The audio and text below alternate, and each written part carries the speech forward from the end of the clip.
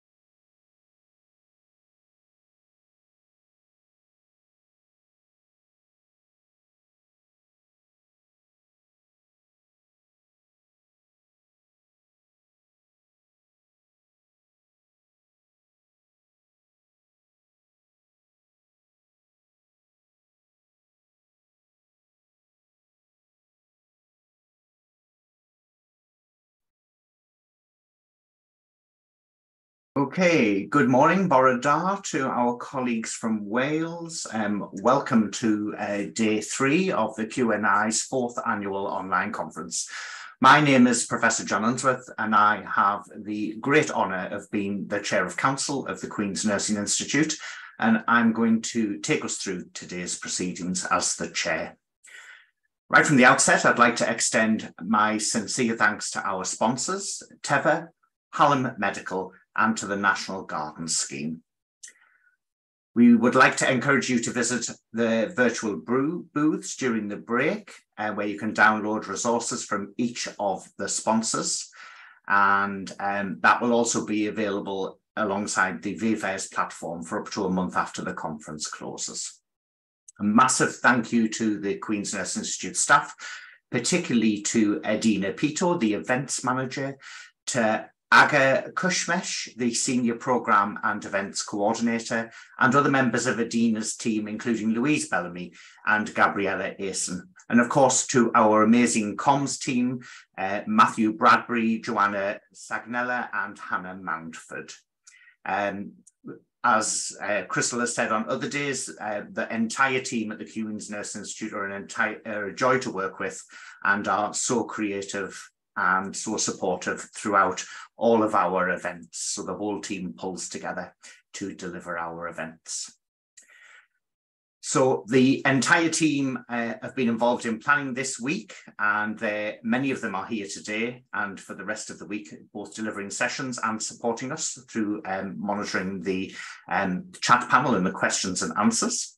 And so you may not see them on screen, but they're the invisible workforce, as is many uh, of our colleagues in community nursing, and they ensure that we're able to deliver such a fantastic event. The event is free to attendees, so please do think about donating to the QNI as we go through the day and through the rest of the week.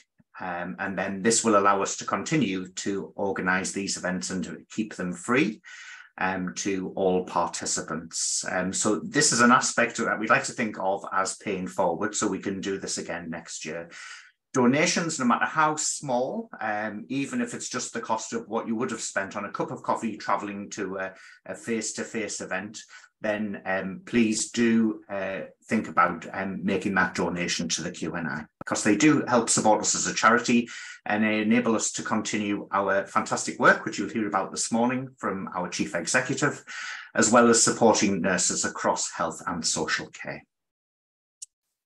People who are unfamiliar with the Queen's Nurse Institute uh, may be interested to know that our work includes standard setting and supporting nurses in a number of ways through both CPD opportunities like this conference and through our leadership programs and supporting quality improvement in practice through our innovation uh, projects. You'll hear more about that um, this morning, as well as our fabulous Queen's Nurses Network from our Chief Executive in the first session. So let's look at the aims and purpose of the conference this week. The theme of this year's conference is In the Spotlight, Nurses Leading Care in People's Homes and Communities. And the week, um, oh, this is day three, um, has uh, offered us a, a, range of exciting and uplifting speakers to help us um, go back to our workplaces feeling energized and connected. So the theme today is population health and sustainability. So just before we move to our first speaker of the day, let's look at some housekeeping aspects. This is our second event using vFairs, and we hope that you enjoy using it and explore the different features, including exhibitor booths and networking facilities. If you leave the main session, you will go back to the lobby area, which will allow you to explore different features and places on the platform. There's also an info desk, which you can click on uh, while we're live if you have any queries and send those through to the team.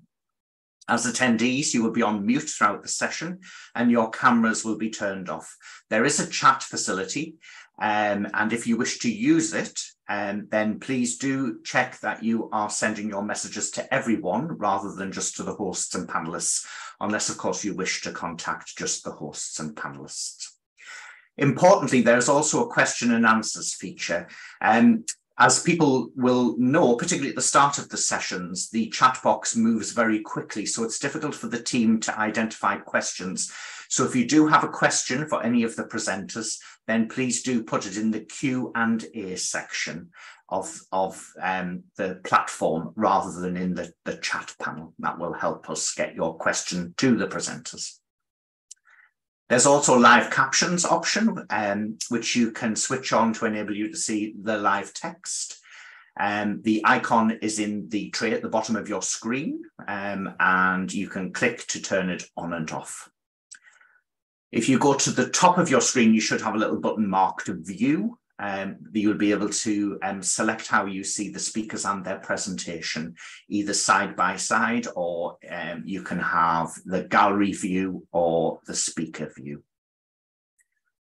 We are very active on social media and many colleagues have been, so please help us um, hopefully try to um, show people what they're missing and to share um, details of the, the sessions via um, social media. Um, I refuse to call it X, so I'm going to call it Twitter. And the hashtag is uh, hashtag QNI 2023. We will be recording some of the main uh, sessions over the four day period. And there is a, the opportunity to see some of these sessions if you've missed any of them, and they'll be available on the vFairs platform for up to one month after the conference. If you have any colleagues um, who've missed the event and you think it will be worthwhile them looking at the sessions, then they can register after the event and then uh, view the recorded sessions within the platform. So, um, without further ado, we're going to move to our first speaker of the day. And um, during various technical problems, we've had quite a few questions about um, the work of the QNI. So this will be a fantastic opportunity for my uh, fantastic colleague uh, and the QNI's chief executive, Dr. Crystal Oldman, to outline the work of the Queen's Nurses Institute in improving nursing care in our communities. So Crystal's going to present for a short while, and then there'll be an opportunity to uh, ask any questions. Just as a reminder, please do put your questions in the Q&A tab in the bottom rather than in the chat panel, um, and so we can identify your question. Over to Crystal, thank you. Thank you. Thank you so much, John. Um, a joy to be here and to see everybody. Thank you for that introduction. So, and yes, we've had a lot of questions about the work of the QNI. So I'm going to do a quick run through. Um, I couldn't possibly share everything that we do because it would take way more than the 30 minutes or so that I've got just now. And I really do want to leave time for questions. So hurry me up, John, if I'm not going fast enough. Um, so, um, and Adina, thank you for controlling the slides. If you could go to our next slide. On here, you can see our strategic plan. And I've got colleagues, as, as John said, the invisible QNI workforce that are behind all of this um, are going to put some links into the into the chat box so that you can go directly to anything that I'm putting up here. We'll, we'll send a direct link onto our website from our website. So um, the work of the QNI, we have a strategic plan. We used to have a strategic plan on 16 pages. And John, as our chair of council, was really clear when we were developing this, actually in the first wave of the pandemic in 2020, that we needed to have a strategic plan that was readable and that colleagues like yourselves on this call today um, can see and read very easily. I don't think anyone read our 16 page strategic plan before this. So I'm going to focus on those six goals that we have and show you what we do under each of those. And they're divided into influence, into quality, and into voice. So on our next slide, you heard from Professor Alison Leary just yesterday um, who was talking about her work that she works, she works with us part-time um, and she heads up our International Community Nursing Observatory. And many of you would have heard me say before, never try to influence policy without the data, the evidence, the intelligence to support your proposition in influencing policy. And so Alison works with us. You would have heard some of the work that she's undertaking with us. And I'm going to share a little bit more uh, today. On the next slide, you can see uh, that we have our, we had Alison as our inaugural uh, speaker giving the William Rathbone the 10th annual lecture and award that took place in June this year. And in the centre there, you can see Bill, William Rathbone, Bill Rathbone, who was a trustee with us for 48 years. Yes, you heard that right, 48 years. And he is the great great grandson of our founder. And you can see here um, Alison's lecture, link, Thinking Differently about nursing workforce challenges. Now, one of my colleagues will put the link to that recording of that annual lecture. And it's when it, at the time when we recorded it and we put it up on social media, it absolutely went viral. Please help us do the same again. Um, Alison speaks brilliantly about the challenges that we have in the nursing workforce, that we all have in the nursing workforce, and how to think differently about that, those challenges. You can also see here that as part of our, as a part of this um, it, first innovation in having the William Rathbone annual lecture, we have created in Bill Rathbone's name an award for the most outstanding executive nurse leader of a community provider organisation. And you can see here our first winner is Michelle Bateman, who's the chief nurse in Derbyshire. I expect many of you know her. Um, and uh, I, there is an official photograph on the right hand side. You can see um, a picture of Michelle uh, with one of our Queen's nurses, Zena Edmonds Charles, who uh, retired from general practice aged 83.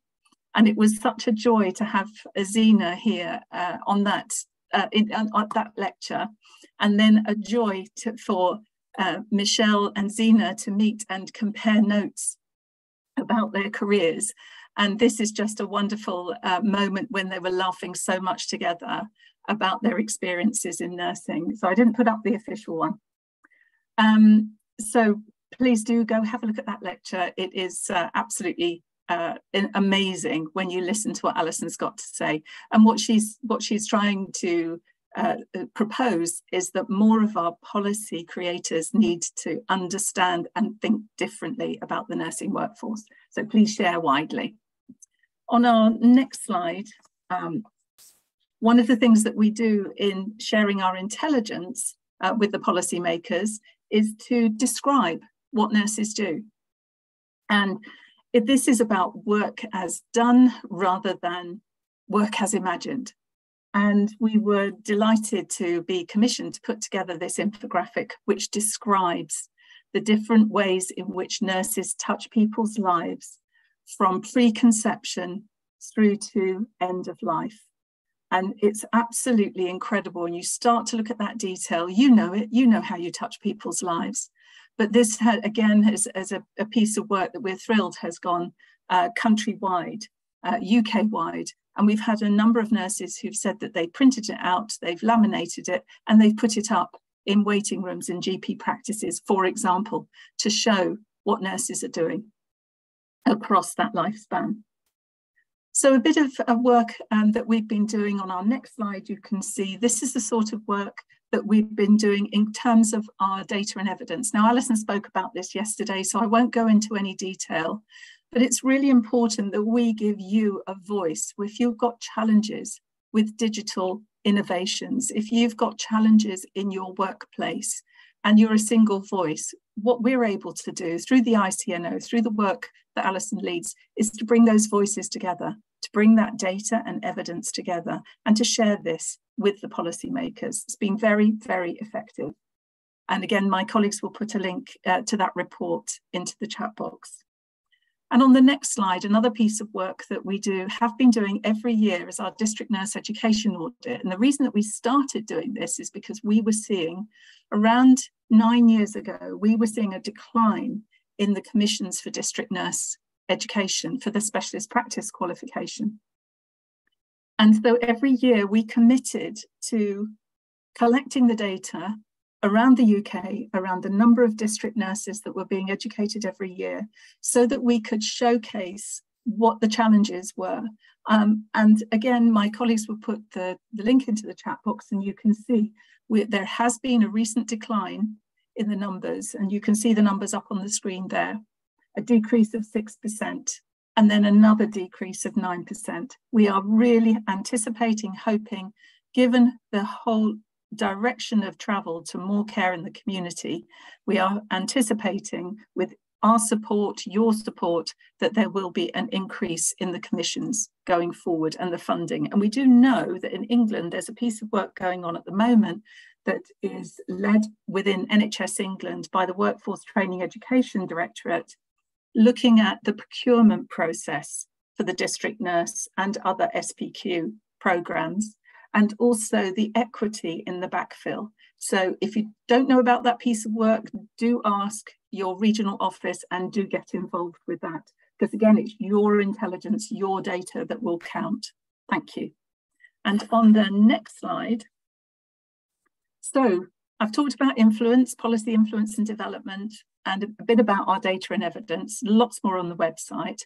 Moving on to quality, innovation and quality improvement.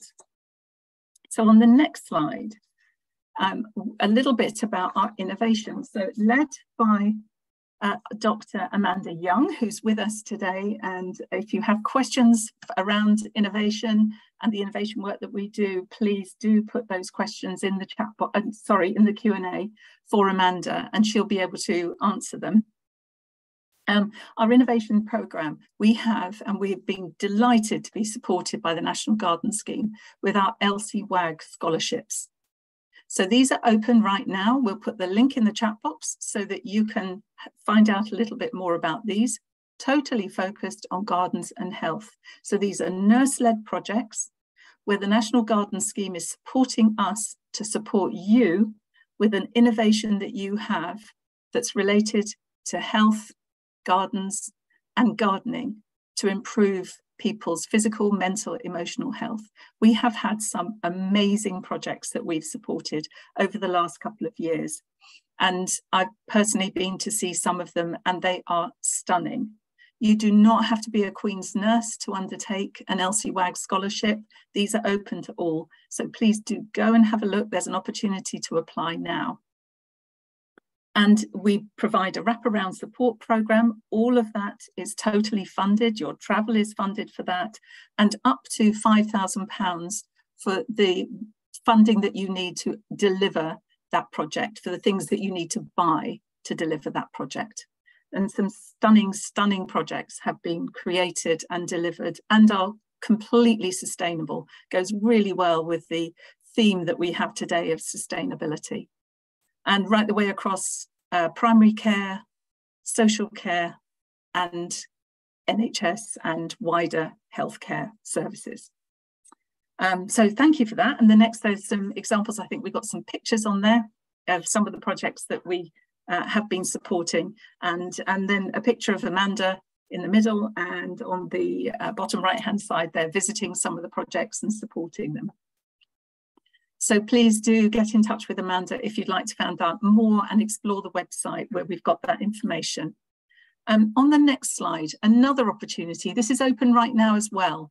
If you have an idea for improving diabetes care, care of people that have diabetes that are in your uh, community, please do get in touch. Again, the link is going to be put in the website. I know my team are really busy in the background putting all these in into the chat box so that you can see what that opportunity is. We are very grateful to the Burdett Trust for Nursing for supporting seven places. So that's seven places that we will be able to support going on to our, our innovation program with, with, with projects that are focused specifically on improving the care for people with diabetes. And we know that nurses are leading um, and leading cutting edge work, nursing work with people who have diabetes. So please do have a look at that and uh, any queries. Amanda, I did say I'd name check you several times. Any queries, please contact Amanda. And on our next slide, in terms of wider opportunities for innovation projects, we know that every nurse, every one of you who's on the call today will have a great idea for improving care.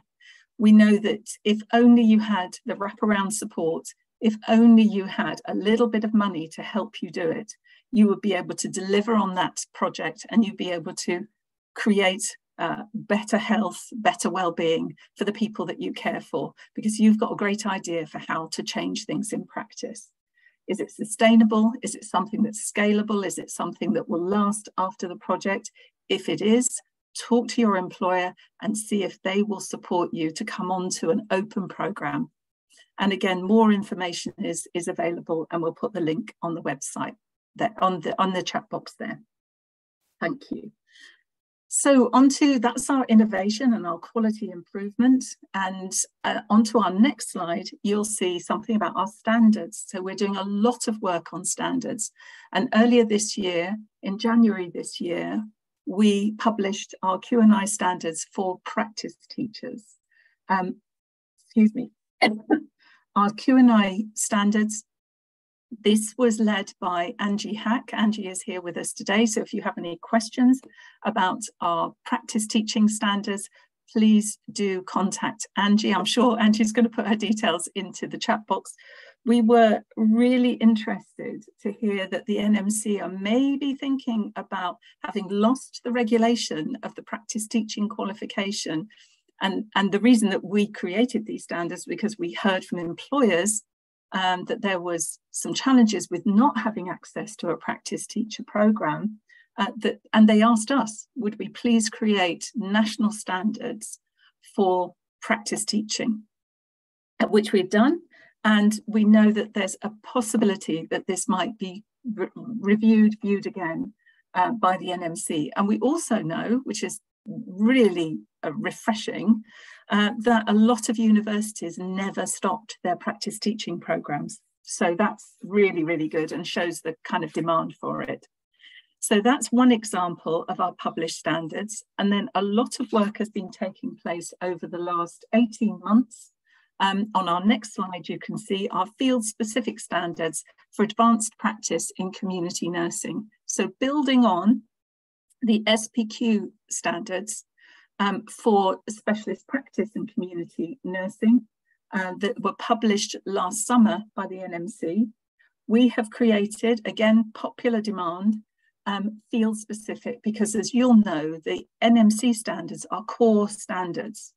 Uh, are, there is nothing specific to the field of practice that you're preparing to become a team leader of within those standards, nothing specific to your field of practice. So we were asked um, again by our um, networks, um, by our the employers of all of these uh, nurses working in the fields of practice like yourselves, we were asked to create field specific standards and I'm absolutely delighted that our trustees uh, went on to support that proposition and that proposal that we should do this. So we spent a lot of time doing this over the last 18 months. This work is led by Dr. Agnes Fanning, who is also here in the background. If you have any questions about the, the standards and fields of practice, standards that we are creating and have created, please uh, do go to along to her session. There's a, a roundtable later. I should have said that as well for uh, Amanda Young. Um, we also have a roundtable with Amanda on the innovation projects. So these are built around the four pillars of advanced practice and clearly reflect the advanced level of practice at which you are working in each of those fields of practice as a leader of the team in those nursing services. So please do go, we again, there'll be a link in the chat box. Please do go and have a look at those. And we're absolutely thrilled to have been able to articulate what advanced practice looks like in, in all of those fields of practice. Many of them are new, um, as in they haven't been name checked by the NMC historically, and, and actually in those, uh, those standards that were published last year. So homeless and inclusion, nursing, adult social care nursing, community palliative and end of life care nursing, and health and justice nursing are all new. Um, and those were the, the three at the bottom without the icons are being uh, we're about to be consulted on publicly. You'll have an opportunity to feed back to us on those. All of the others with the icons are all published and on the website. No, I'm, I, my apologies, they're not on the website, but, uh, but information about them is on the website. Universities are now contacting us um, and are be, we are sharing those standards with the universities uh, so that we then have an endorsement process with them. So the universities will be creating the SPQ programs that are approved by the NMC and using our standards to demonstrate and reflect advanced practice. And then we they will apply to us to, to have an endorsement by the QNI. So the, the, whilst you won't be able to see those standards uh, from, on our website, you'll be able to work with your local university to be able to uh, feed into the development, the co-development and co-production of those standards. Thank you for that. And please do, if you want to know more, please do contact Agnes and do go along to her roundtable later on this afternoon. On the next slide, again, very much related to advanced practice, the QNI became a member of the International Council of Nurses um, a couple of years ago, actually almost two years ago to the day. And we are delighted that we've now got international links and that, which are incredibly helpful around looking at advanced practice and what's happening in all of the other countries. Um, we are also delighted that John and myself were able to attend the ICN um, conference and meeting of the national networks nursing associations in Montreal in the summer and we went along to a session around advanced practice and we are planning to share our work on those standards for advanced practice and community nursing. There was a huge amount of interest in those standards when we went along to that session. And uh, we plan to share our work with the ICN more formally at the conference that's taking place in Scotland um, in the summer next year. So more on that and more around our work and how we're sharing that internationally and learning from what other nurses are doing internationally. Using the four pillars of advanced practice has been uh, the best thing that we could have done, I think, um, because that's so well recognised internationally. I think I'm being moved on. My slide has moved on. And lastly, talking, that's fine, please do go on. Um, the, on the next slide, um, yeah, so talking about our um, voice, our role models and our leaders. So on the next slide, you can see all of our networks. We have 10 networks and uh, there's, there's something there for everybody.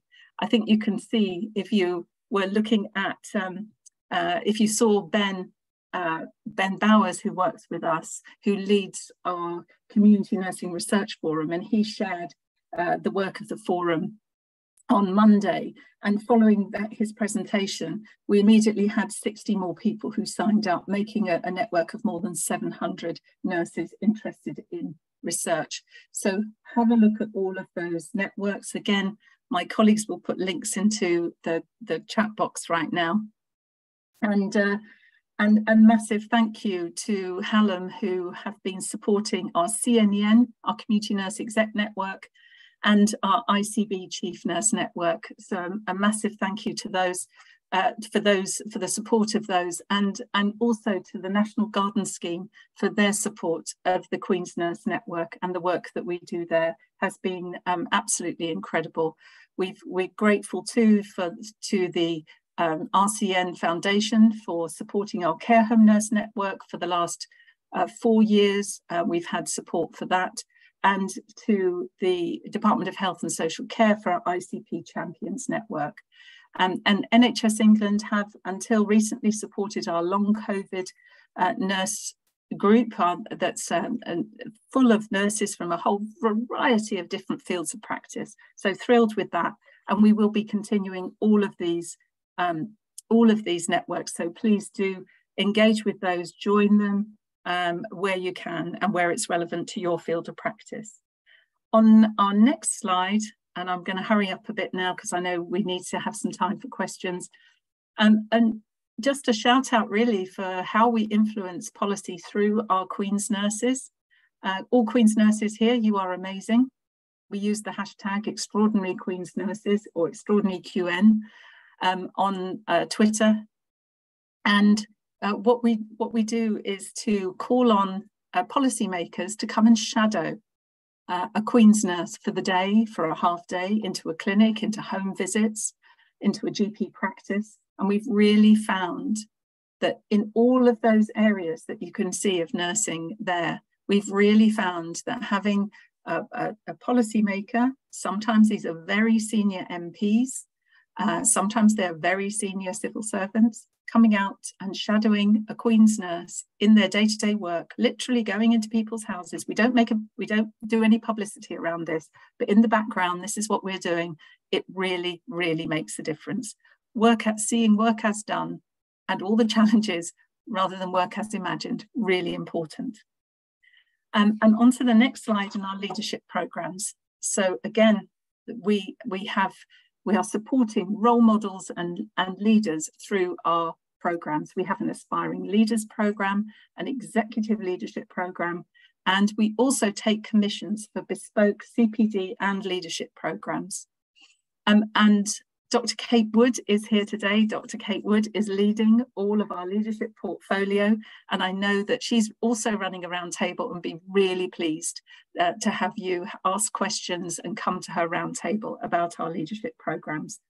More than 50% of those nurses who are taking our, have taken our aspiring or our exec programs by the end of the program have already gone on to a more senior or a more responsible role by the end of the programme. We know that these are really, really effective.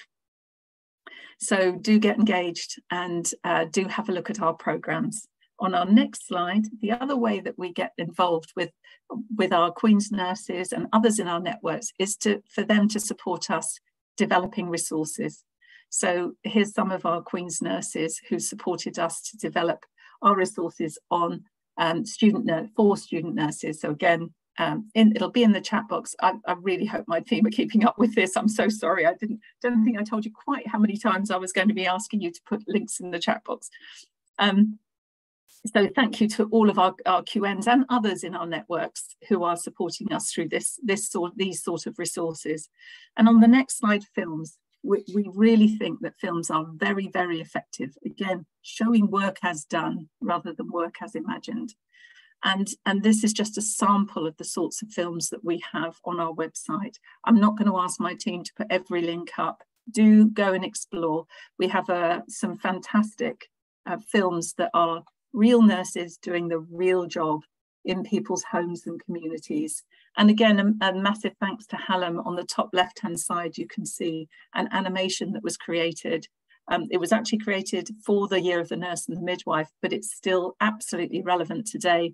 Please do have a look at that. That's a, a brilliant animation and a support for demonstrating the breadth and scope of the and the impact that nurses have in the community. And almost finally, our support for nurses function on the next slide. You'll see that um, we have three services that we offer. We offer a talk to us service, which is for nurses who are completely anonymous, for nurses who would like to have a listening call with one of our trained listeners, nurses who may be having uh, some difficulty, uh, emotional difficulty. We started this during the pandemic and we've continued it on it is not a counselling service, it is a listening service.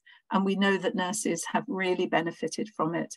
Uh, we don't collect data, we don't know who calls us because this is completely anonymous. And it means that nurses can talk to somebody outside of their family, they can talk to somebody outside of their the, the team that they're working with or outside of their employment. So that's been incredibly successful. And again, our thanks to RCN Foundation for supporting us with that.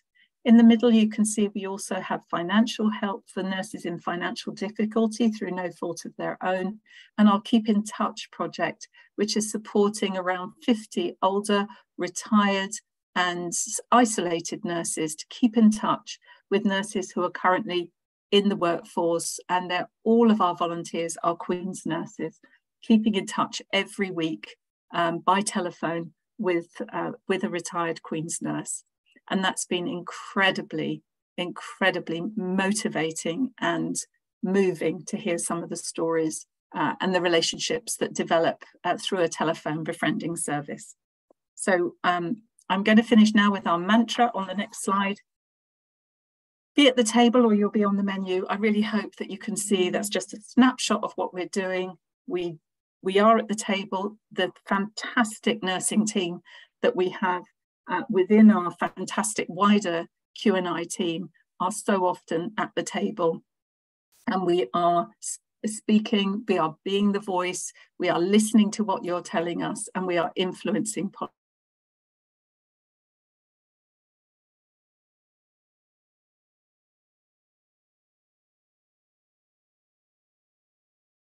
Oh, I had a sneaky suspicion it was all going really well. we seem to have lost Crystal. Um, so um, where Crystal had almost finished. Um, I, don't know whether you're still there, Crystal. Um, but but if not, we're going to move to questions and answers. And it looks as if I'm in the spotlight for this one, Agnes. Um, so if, can we go to the first question until Crystal comes back in?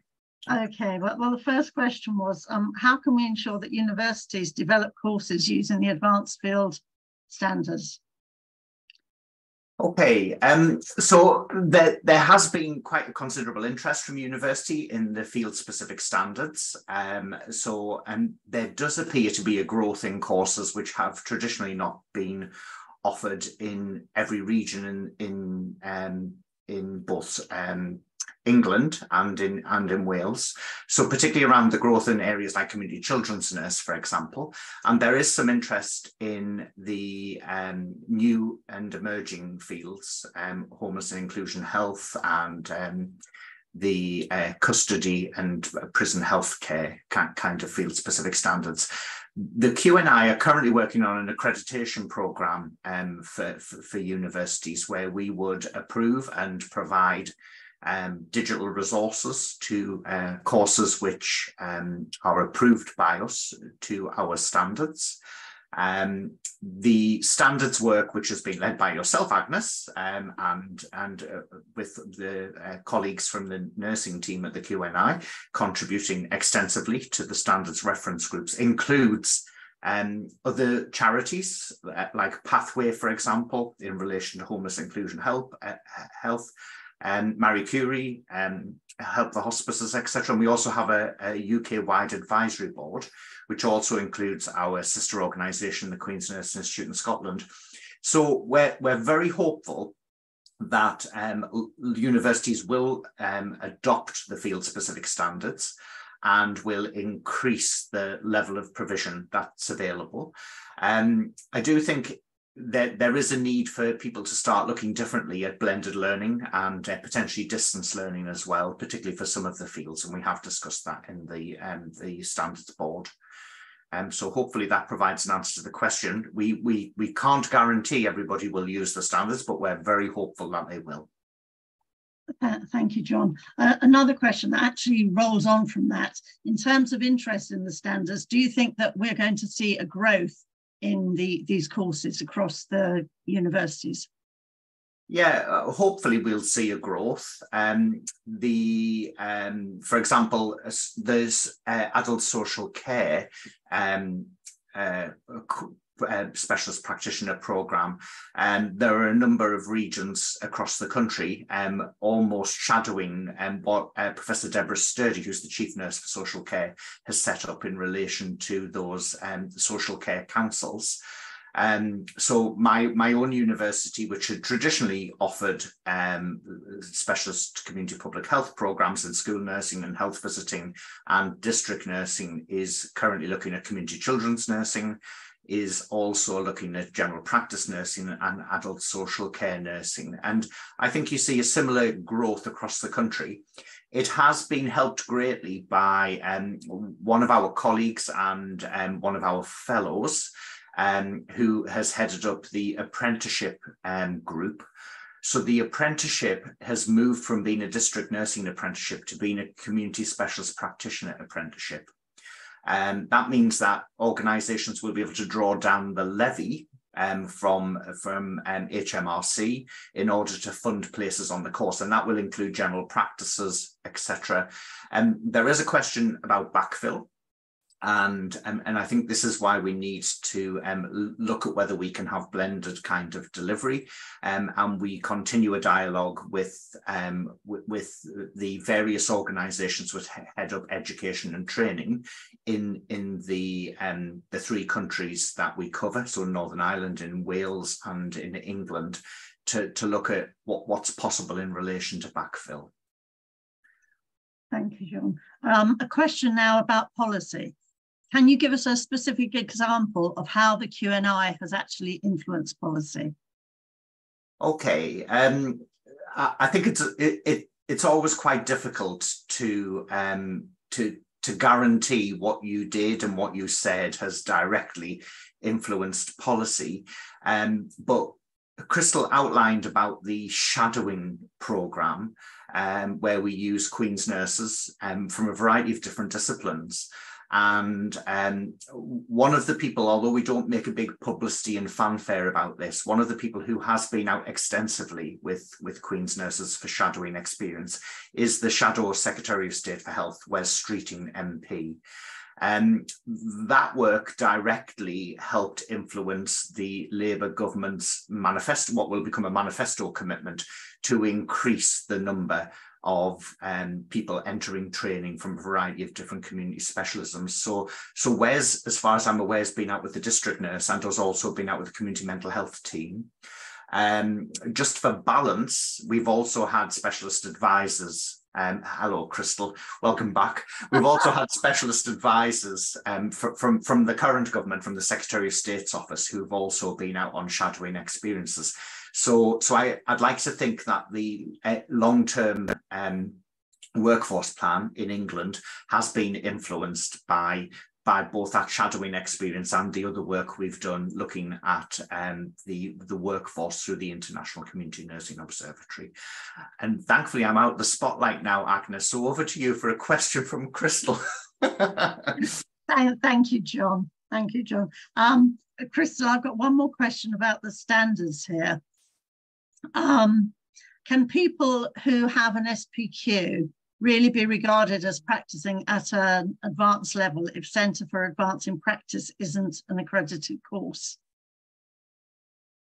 Um, so if if it's so this is England Centre for Advancing Practice, um, and uh, if it's not accredited by, uh, uh, so yes, uh, uh, the I think the what your the question is is the Centre for Advancing Practice the only way to demonstrate that you, if it's an accredited course, is that the only way to demonstrate that you are working at an advanced practice level? And the answer is no, there are other ways. Thank you, thank you. And clearly demonstrated by our standards, which are reflecting the four pillars of advanced practice, and uh, that that you and the team and so many others have contributed to. It's uh, and you've we've created a fantastic um, definition of advanced practice in, in the community. So thank you for that. Yeah, thank you. Just to add to that, there, um, th there is one question which uh, has been responded to, but other people may want to know about it. And it's whether health and justice nursing is included within the um, forensic nursing um, standards. And the answer is yes to that. So everybody can hear that response. Yeah. The, Great the, the, other question, which I think had come up in the chat panel and certainly been in um, uh, over the past couple of days, was around um, uh, educational preparation for nurses who are involved in funded nursing care and continuing healthcare assessments. Um, I, I, think, Agnes, that that's actually included in the adult social care um, specialist practitioner qualification, isn't it? I'm sorry, sorry, John sorry, I'm just wrong footing you. It's become a become a no, no, no, no, no. so um, there, there was a question uh, about the um, training for nurses who are involved in continuing healthcare assessments yes. mm-hmm. and obviously funded nursing care. A lot of those nurses sit, not not exclusively, but a lot of them sit with, with, um, in in social care and, and so does the social care SPQ include those nurses? Thank you. Yes, I would probably say they would because continuing care is is um, practiced in the adult social care environment as it is with with possibly district nursing as well. But certainly adult social care will cover continuing care. Thanks for that. Okay, um, thank you very much, Agnes and to Crystal for that fantastic session. Um, so you, you missed out on all the questions. I, I didn't say anything inappropriate, which is unusual. Thank you. So, I'm so sorry. My entire broadband has gone down, so I've now joined via my phone line. So who'd have thought that that would happen? I think it happened last year. Uh, it doesn't happen very often at home, but it had to happen at that moment. So thank you so much, John, for uh, stepping in and answering those questions. Brilliant. No, no, no problem at all. Okay, so we're going to move to our next speakers who are going to talk about managing health inequalities. And I'm delighted um, that we are being joined by Fatima Khan Shah, who's an associate director um, for long-term conditions and personalisation in the NHS West Yorkshire Integrated Care Board and by a, a, familiar face to people who've been at our conferences previously, who is Rob Webster, who um, is uh, also a QNI Fellow, um, who's the Chief Executive of the South West Yorkshire Partnership NHS Foundation Trust and Chief Executive Designate of the West Yorkshire and Harrogate Integrated Care System. Um, and so welcome Fatima and Rob. And I think um, that you don't have any slides. So we shall take down the slide just with the introduction and we'll hand over to, to both of you. Thank you very much. Which is really dangerous, John, to be fair. I mean, giving me control of the reins with Rob. Um, Not, some no. people would ring alarm bells, but we'll, we'll do our best. I'll certainly do my best uh, to be on my best behaviour. Um, Rob, your job title's changed a bit um, since the last one. Do you want to do you want to introduce yourself with your sort of current role? Yeah, sure. So uh, thanks, everybody. So uh, since we've become a statutory body, uh, I don't run the South West Yorkshire Partnership NHS Foundation Trust anymore. That's now Mark Brooks, who's doing a brilliant job there. And I'm Chief Executive of uh, NHS West Yorkshire Integrated Care Board uh, and the lead Chief Exec for the Integrated Care System. So uh, that's fine. We're so lucky to have you though, which is why I was like, no, no, hang on, we're not sharing him with anyone anymore. He's all ours now. Um, and I've obviously changed jobs as well, haven't I, Rob? I've become the first ever West Yorkshire Inclusivity Champion, um, which is a role that has been absolutely championed by the West Yorkshire Health and Care Partnership and the West Yorkshire Mayor, Tracy Brabin, and is the first of its kind in our region, uh, yeah. which is very exciting. Um, so you and I had a brief conversation about how we wanted to spend this time because it's it's quite a topical issue, health inequalities at the moment, and it gets sort of, in my experience, two reactions. One is loads of passion, loads of energy, um, and and sometimes a bit of an eye roll. I think it's fair to say, and here we go again. Um, and I think West Yorkshire Health and Care Partnership have really shown the art of the possible when it comes to health inequalities, yeah. hasn't it? And some of the stuff that you've done. Do you want to just share with folks what, what's been happening? Yeah, I do think it's a very topical thing, and rightly so. Um, um, just this morning, uh, I was meeting all the new starters. So each month, I have a conversation with all new starters about what, what's this partnership for, um, and uh, how do we want to be. So those of you who've seen me before or have spoken to me before or work with me uh, know that I believe that how we work is as important as what we do. And one of the, the conversation this morning with about 12, 14 people uh, started with, you know, why do you do this? Why do you do this work? And we had people who worked in administration, we had continuing healthcare nurses, we had children's nurses, we had a various range of different people from clinical, non-clinical backgrounds. And they all talked about making a difference. And several of them talked about making a difference to people with learning disability. People talked about, you know, trying to overcome in the system the kind of experiences that they had had professionally or personally in their family lives. So they all came from this place, I thought, which was about how do we how do we do something which we all believe in, which is improve outcomes? How do we do that in the context of something we fundamentally believe in, which is social justice in the NHS? And how do we then visibly uh, see the difference that we're making and have a have a have a system and a and an organization that supports that? So I think for people who feel cynical or uh, that inequalities is an eye roll moment, then you try and park the cynicism because when you talk to people in the organization in the system about inequalities, it's actually the thing that I think binds people together. And, and uh, that's me, you know that West Yorkshire is a partnership of you know 10 trusts, six councils, hundreds of GP practices, 13,000 voluntary sector organisations, and the things that bind us together are really important to find. So, health inequalities is one of those. Yeah. I'm very happy to talk about the kind of things that we've done subsequently. I mean, you know, I am the first person to say that I think this is one of the best ICSs in the country to work for. And one of the reasons why I always say that is because I feel like every time I come into work, I'm making a difference. And if you think about the people you just mentioned on the induction, yeah. they've all joined this organization because they want to make a positive difference to the region. But we can't do that, Rob, if we're living in a region where, depending on where you live, your life expectancy yeah. drops. Yeah. Um, or that if you are somebody um, with a learning disability, it drops even more. Yeah. Or if you're somebody who is living with a learning disability and come from a racially marginalised community, that you might not live beyond the age of 40, according to that latest Race Health, uh, Race Health Observatory report.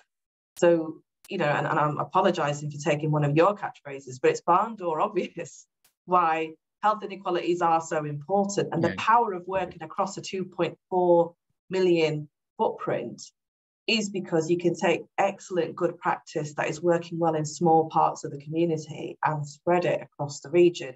But you were going to mention some other examples of some of the fun yeah. stuff that's going on. So, so I do think so. Fundamentally, I think you've got to start from a point of agreement and a belief. And I don't need to tell this audience. I mean, I was delighted to hear John and Crystal talk about the fact that they're taking people out to see how people live in modern Britain You know, because everybody in the audience knows that nobody buys new pajamas because you're coming round. Uh, you know, you get what you see is what you get, and you really see how people are coping today. And I always wanted, you know, as a chief executive, a provider, to take people to see how people really live today, and the amazing work that our teams do, and the inequalities that they see, that you all see right in front of you every single day. Now, if we can build from that, if we can build from that understanding and look at what works, then um, th- there's a huge amount we can do in this really difficult context. So we've got a fundamental belief, and now it's now in statute, isn't it, that integrated care systems, integrated care boards have to tackle inequalities. Now, in terms of uh, how we do that, there's two ways to think about it. Firstly, you have to have the right culture, and we've touched on some of that. And secondly, you have to have the right infrastructure. If you don't have a way of working and organizing yourselves, you're not going to get very far. So we've we've really set out by saying, okay, our culture is one where we embrace this. So as you said, Fatima, you know, we we we know that these things persist. So people with a learning disability die 20 to 25 years sooner. And a learning disability is not uh, a health condition. So no. just think, let that sink in for a second. If you if you come from, um, you know, a Black Caribbean, Black African community, your experiences of healthcare are going to be worse. If you're a man from that community, you're likely to be in sections 10 times more. That's not a morbidity issue. It's something else. You know, if you've got serious mental illness, you'll die sooner, usually because it's men in middle age, uh, you know, dying by suicide. So mm-hmm. there are shocking things which aren't surprising to us. And our culture is that uh, we should do something about it. Stop admiring the problem, start doing something about it because we can, because we're a partnership of the NHS, the third sector, and councils and our communities. So having that culture then requires the infrastructure. We've got Health Inequalities Academy that says if we're going to do something about health inequalities, we have to have insight we have to have capacity and we have to have the capability and skills.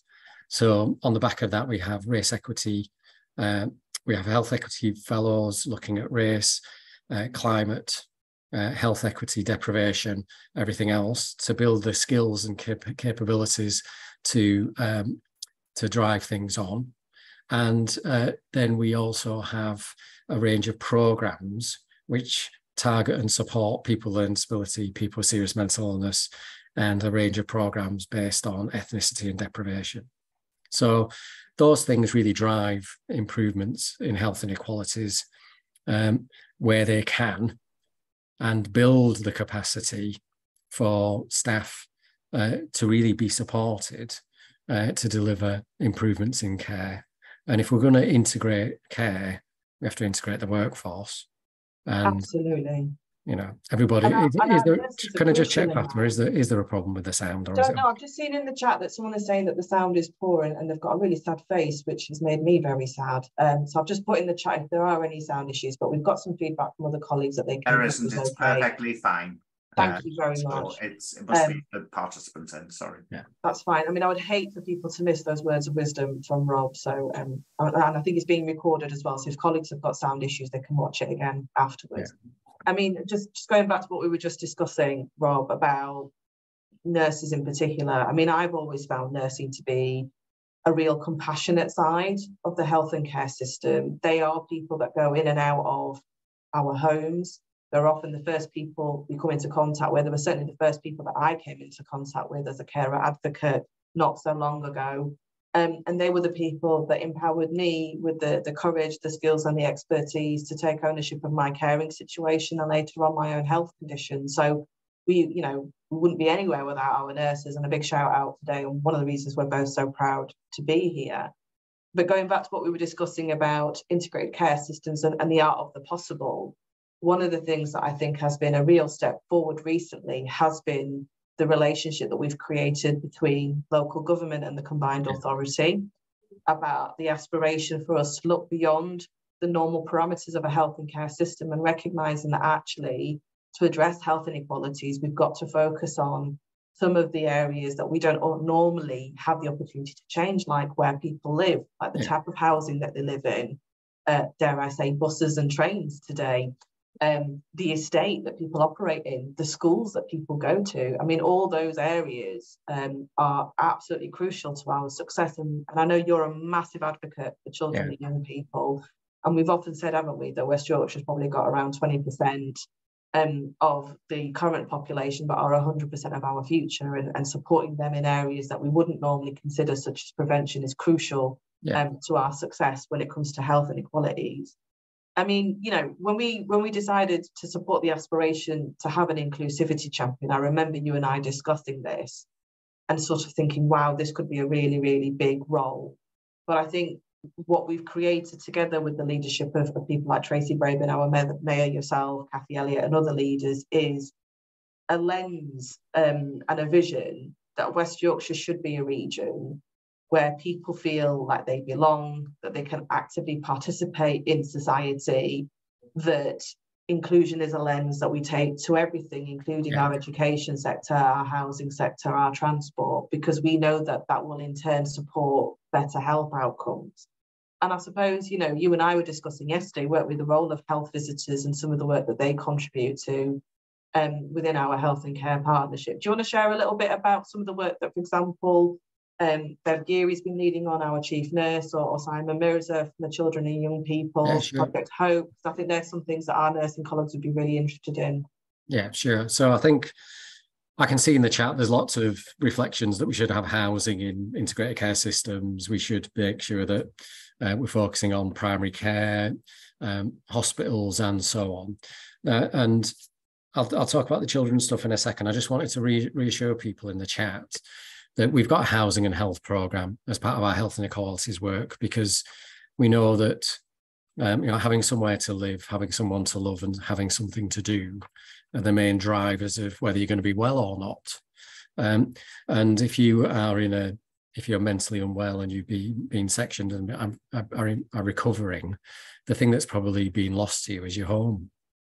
And uh, what you need to do is to be able to get somewhere to live uh, and providing you know simple things like having housing advisors on the wards of inpatient units of mental health um, hospitals is is part of the ways that you can facilitate that. Yeah. and looking at the broader issues around housing. We know that uh, our hospitals have looked at who gets transported to hospital in the ambulance with the ambulance service.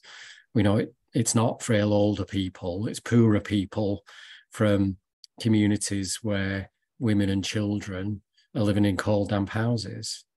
So, what's the solution to the ambulance crisis? It's dealing with cold, damp houses. Exactly. So it's not having more ambulances. So, I think for those in the chat who are thinking that um, you know this is just about the NHS, it's really not, and it really is about that inequalities lens being looked at by all partners and people asking the question why somebody turned up here today mm. and what's at the root cause of it so to the children's point because we're a true partnership and because we're led by the people in the partnership including councils dases dcss etc we, we have conversations about what do we collectively want to do around children yes. one of our 10 big ambitions as a system is to turn the curve on childhood poverty and the consequences of that and childhood obesity, learning from work done in Leeds, which outside of Amsterdam had been the only city and the only place in Europe to manage to do that mm. with its best city uh, approach and its um, and its work around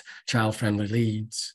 Um, so what we've got is a program of work where DCSs, uh, primary care leaders, hospitals, etc., come together to say, what do we want to do around children's services? How do we move from a situation where we are, frankly, today, which is for many places, our health visitors and school nurses are so busy doing safeguarding work that they're not doing the interventions that are required. Where CAMHS services are stretched, and because schools are stretched, there's a tension between schools and CAMHS, which people see CAMHS as a solution to things which aren't which are emotional, not mental health issues, because there's nowhere else to go.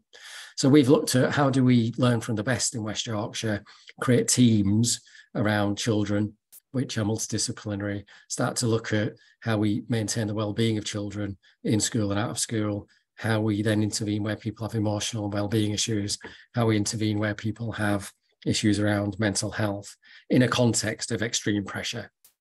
And we've got some excellent examples of that. And we're also focusing on people who face the biggest discrimination and impact within that cohort, which is care leavers.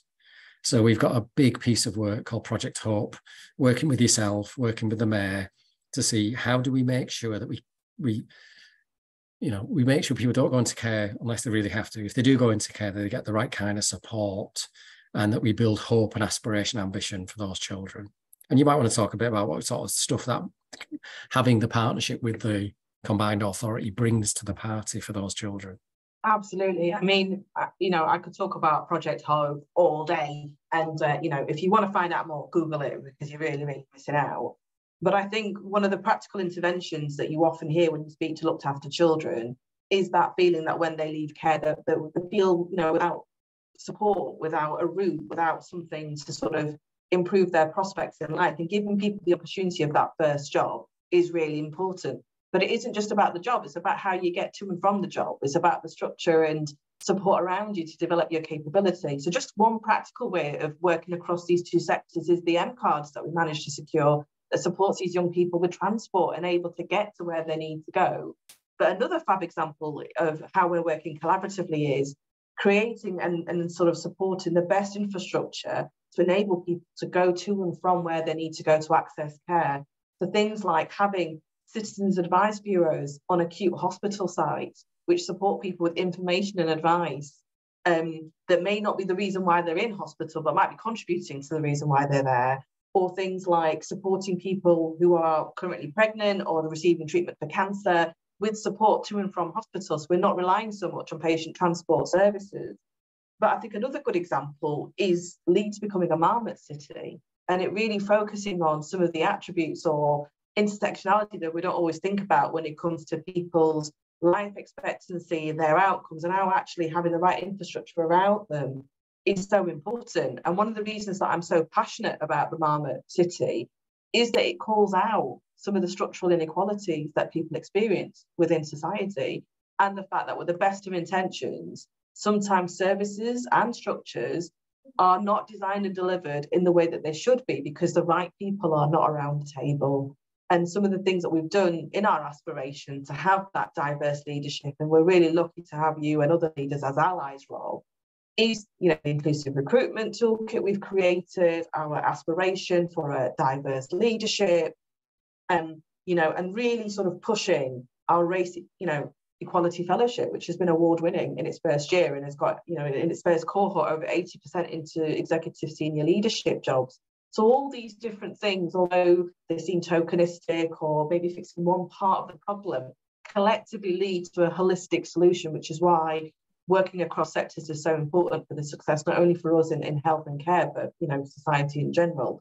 But I also, you know me well enough to know that we can't talk about inequality without talking about personalisation or our unpaid carers. And again, nurses are crucial to that success. Yeah. For those of you that don't know what I mean when I talk about personalisation, where have you been? Where have you been? Um, personalization is something that every nurse does naturally, and that is about empowering people with the skills, expertise, and knowledge to look after themselves. Because if you speak to people, that's what they want. That's what they want: the skills and expertise. And it, you know, it harnesses innovation. It focuses on culturally competent services, and it also harnesses the great skills that we've got in our workforce. And you know, we're really proud to have a program focused on personalisation in West Yorkshire, aren't we, Rob? And yeah. I think some of our nursing colleagues have been absolutely instrumental in its success. And I think one of the reasons why it works so well is because it tailors the need and the solution to the patient as an individual. And actually, if you personalize the care, you mitigate the inequality, which is so crucial, isn't it, um, yeah. to our success? Yeah, I agree with that. And it, and and you know, we we know that that's a real strength of community nursing and community teams, particularly when they have the time. And um, you know, I've, we've all seen, haven't we, the the way in which community nurses, particularly working with families, can be thinking about much broader things than the health issue. You know, if you go in and dress somebody's legs, for example, it takes a bit of time. You have a chat about everything else that's going on, and you've already clocked some of the social and other issues that people might have or their families have and creating um, i think the true sense of integrated care is when we create an, an ability for people in that situation to say, I've got a team here that can help.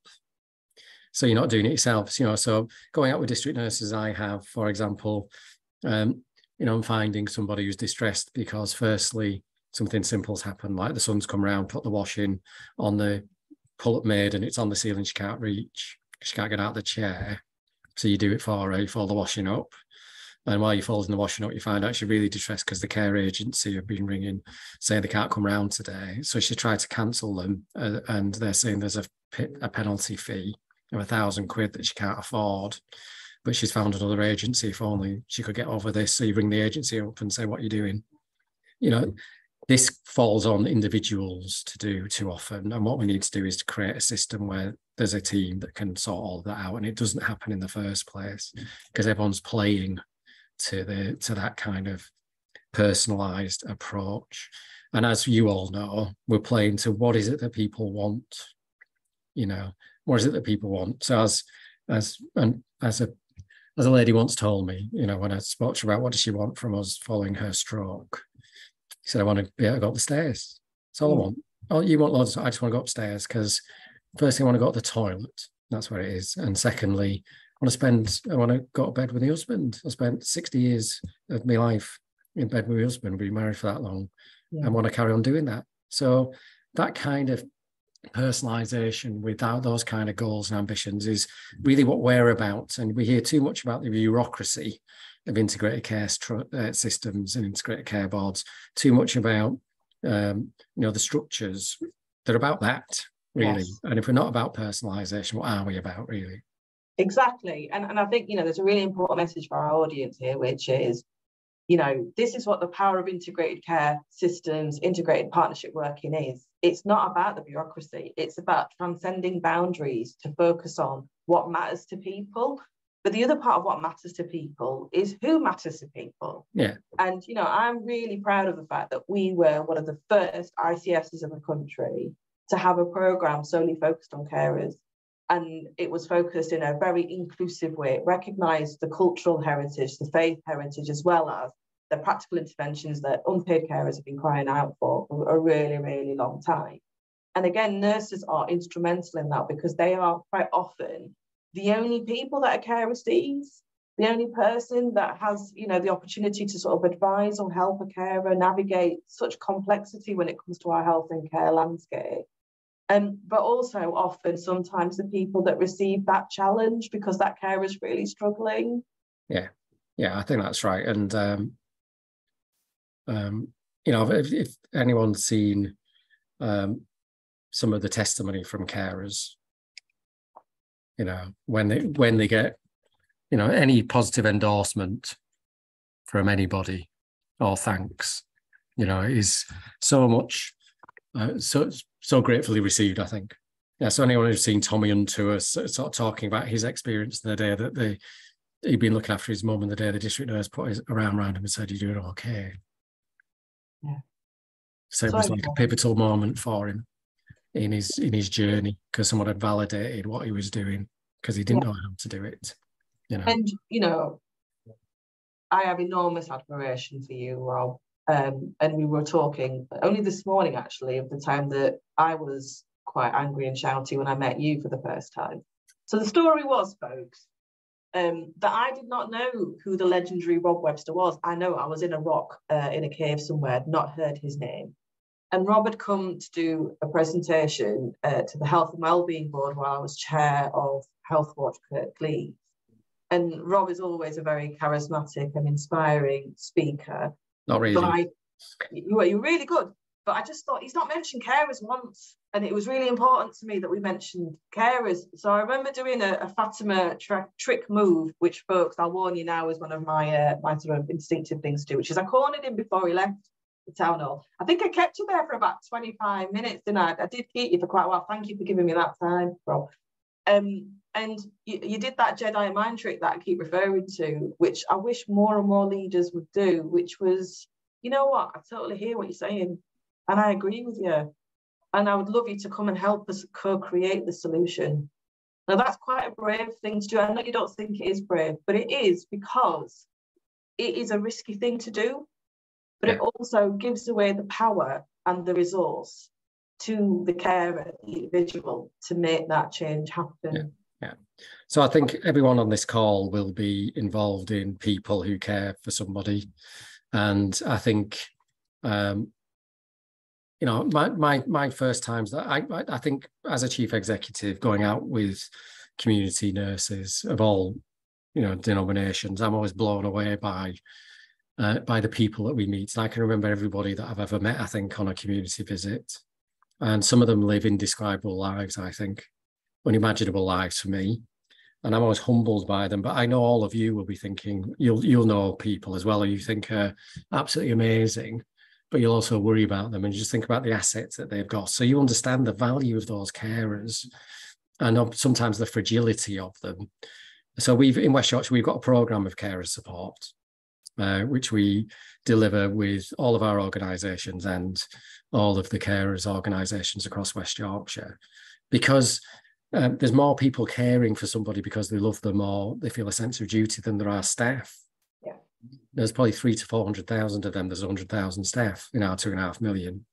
Without them, we couldn't deliver anything. So, fact, again, that comes back to culture and infrastructure. We've got an infrastructure that supports carers. We've got a culture that values them, and we try as much as possible to support them. We know how difficult it is. So, in the cost of living crisis, put together a big piece of work with all of the um, councils to coordinate all of our cost of living support work. And I think that's really important and critical. Um, I think some of the other things that we should recognise as well, Fatima, is that um, we put money into this.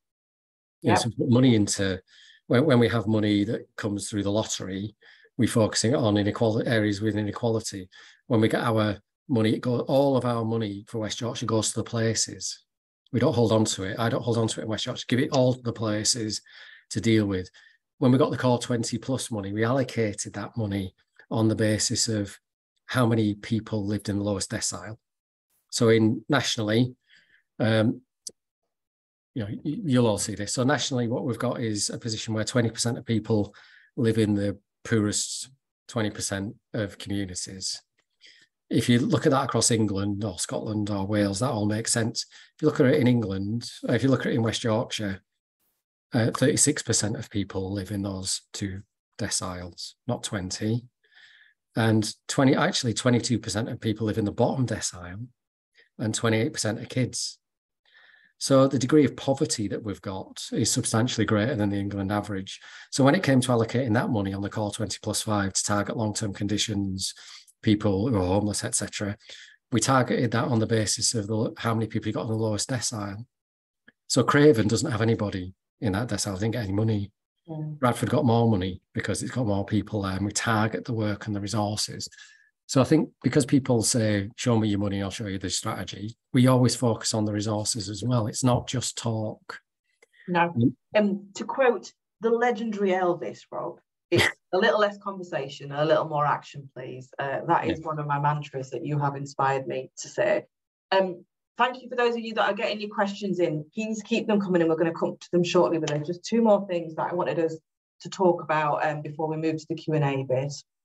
The first thing is um, you, you, mentioned some of the challenges that people are experiencing within yeah. society. We know that a lot of our workforce are also struggling. A lot of our nurses are really struggling.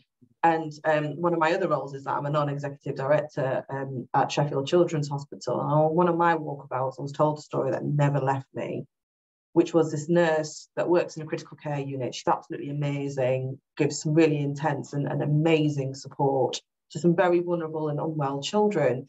And she was telling me that even though her shift starts at eight in the morning, she arrives at six and sits in a car for an hour and a half just to get a free parking space. Um, and yeah. then when she's walking back to her car, she's too scared to walk on her own at night when it's dark. Yeah. Because of her own safety. That is the reality of these incredible people that yeah. work within our organisations. The other story that resonates with me is our international workforce. And I remember hearing a story from this amazing Filipino nurse, I'm not going to name her, but she, she came to talk to me about the support she received when she came over. Um, and the little family that she created of nurses that sort of created this friendship group and they they supported her to move in and the practical things of like, you know, where'd you get your halal meat from and where'd you go and watch the Bollywood movies and all, all these things that are really important.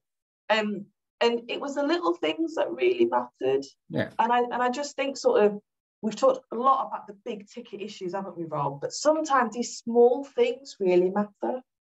It's all about sense of belonging, isn't it? So the people can get sniffy about things like the long-term workforce plan or the people plan for the NHS, but it starts with a sense of belonging. And um, you know, I think people on the call will all feel they belong to a team and they belong to their communities and they belong to to the people that they work with. And it is that those that, that support. Now, now I think what's what's critical for all of us is this sense of leadership in this sort of in this system, national, you know, nationally and locally in all our systems. It's got to be servant leadership. We've got to start with the people that we're here to help and the people who can help themselves you know so got to start with the communities and then the people who support them which is people on this call and everything else is in service of those two groups the people who need support the people who can give it to them and how we put them together. So that means that you know we need to think about what is it like to work for us? What is it like to work with people in communities? Is that a good experience? Are you being racially harassed or abused? Are you suffering violence? You know particularly now if you're a if you're working in a general practice or if you're a community nurse or if unfortunately you know people takes again people take against you because of your skin color still in the 21st century, you know, we need to know. And I think we create the cultures where, because we've got good communications from people working for us into decision making and the leadership, you should know the stories about somebody who has to park the car at six o'clock to get a free space because they can't afford to pay the parking. You should know that people feel unsafe to go home and should start to think about what we can do about it because we can do things about it. We do do things about it um, because this is a the organization and the system is made of people. Mm. You know, and without the people, we're nothing. But and you know, I wouldn't be me if I didn't ask some of the hard questions. Servant leadership and inclusive leadership's not easy, Rob, is it? You make it look easy, but it isn't. Um, and, you know, we've just been through some of the most challenging periods um, in recent memory. We're still in really challenging periods. And we're having to embrace a new way of leading, which is leading through ambiguity, leading through uncertainty, sometimes not having all the answers, sometimes having to show our vulnerability. And sometimes people find that hard. Yeah. So how how do we inspire people and thank you for the feedback in the chat that people are finding this conversation useful and inspiring but how how do we continue to support people to lead in the way that you've described and that I've tried to emulate in your shadow? Well, I think we just prove that it works. I think is the key thing. You know, you've got to you got to prove that it works, and I, I think as a system, we're we're doing okay. Things are incredibly difficult. Incredibly difficult for everybody out in the system. Uh, but there's also brilliant things that are going on that people are incredibly proud of. Yeah. And we've got to we've got to be able, you know, as a, just as an aside, everyone on this call would be doing something where they think I'm really proud of that. You know, I think we're doing some good stuff here. You're all Queen's nurses. You've done you've done sufficient to prove that you are that some of the best nurses around, um, because you're able to do brilliant work.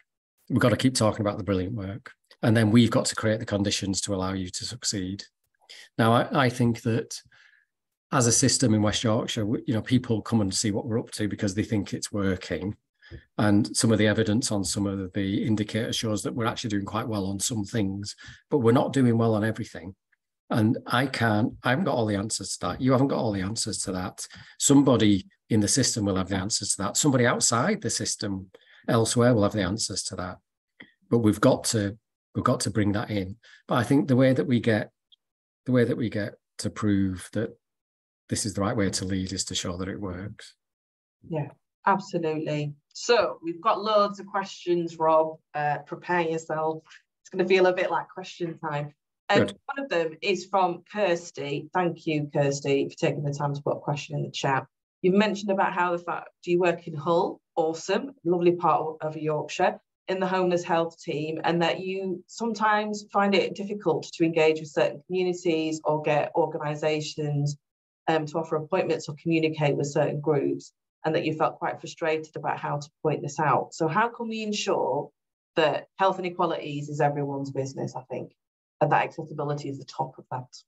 Yeah, I think it's because um, I think we just there are different ways of trying to ensure that people understand that it is, and sometimes that's about language, and sometimes mm. it's about having infrastructure. For so for homeless homelessness and health, um, we do have a West Yorkshire wide program of work around homelessness, the vulnerability house. It's linked to the core 20 plus five work, and it's linked to some other work. Um, so, so there's some kind of infrastructure there, but there's also a couple of cultural points.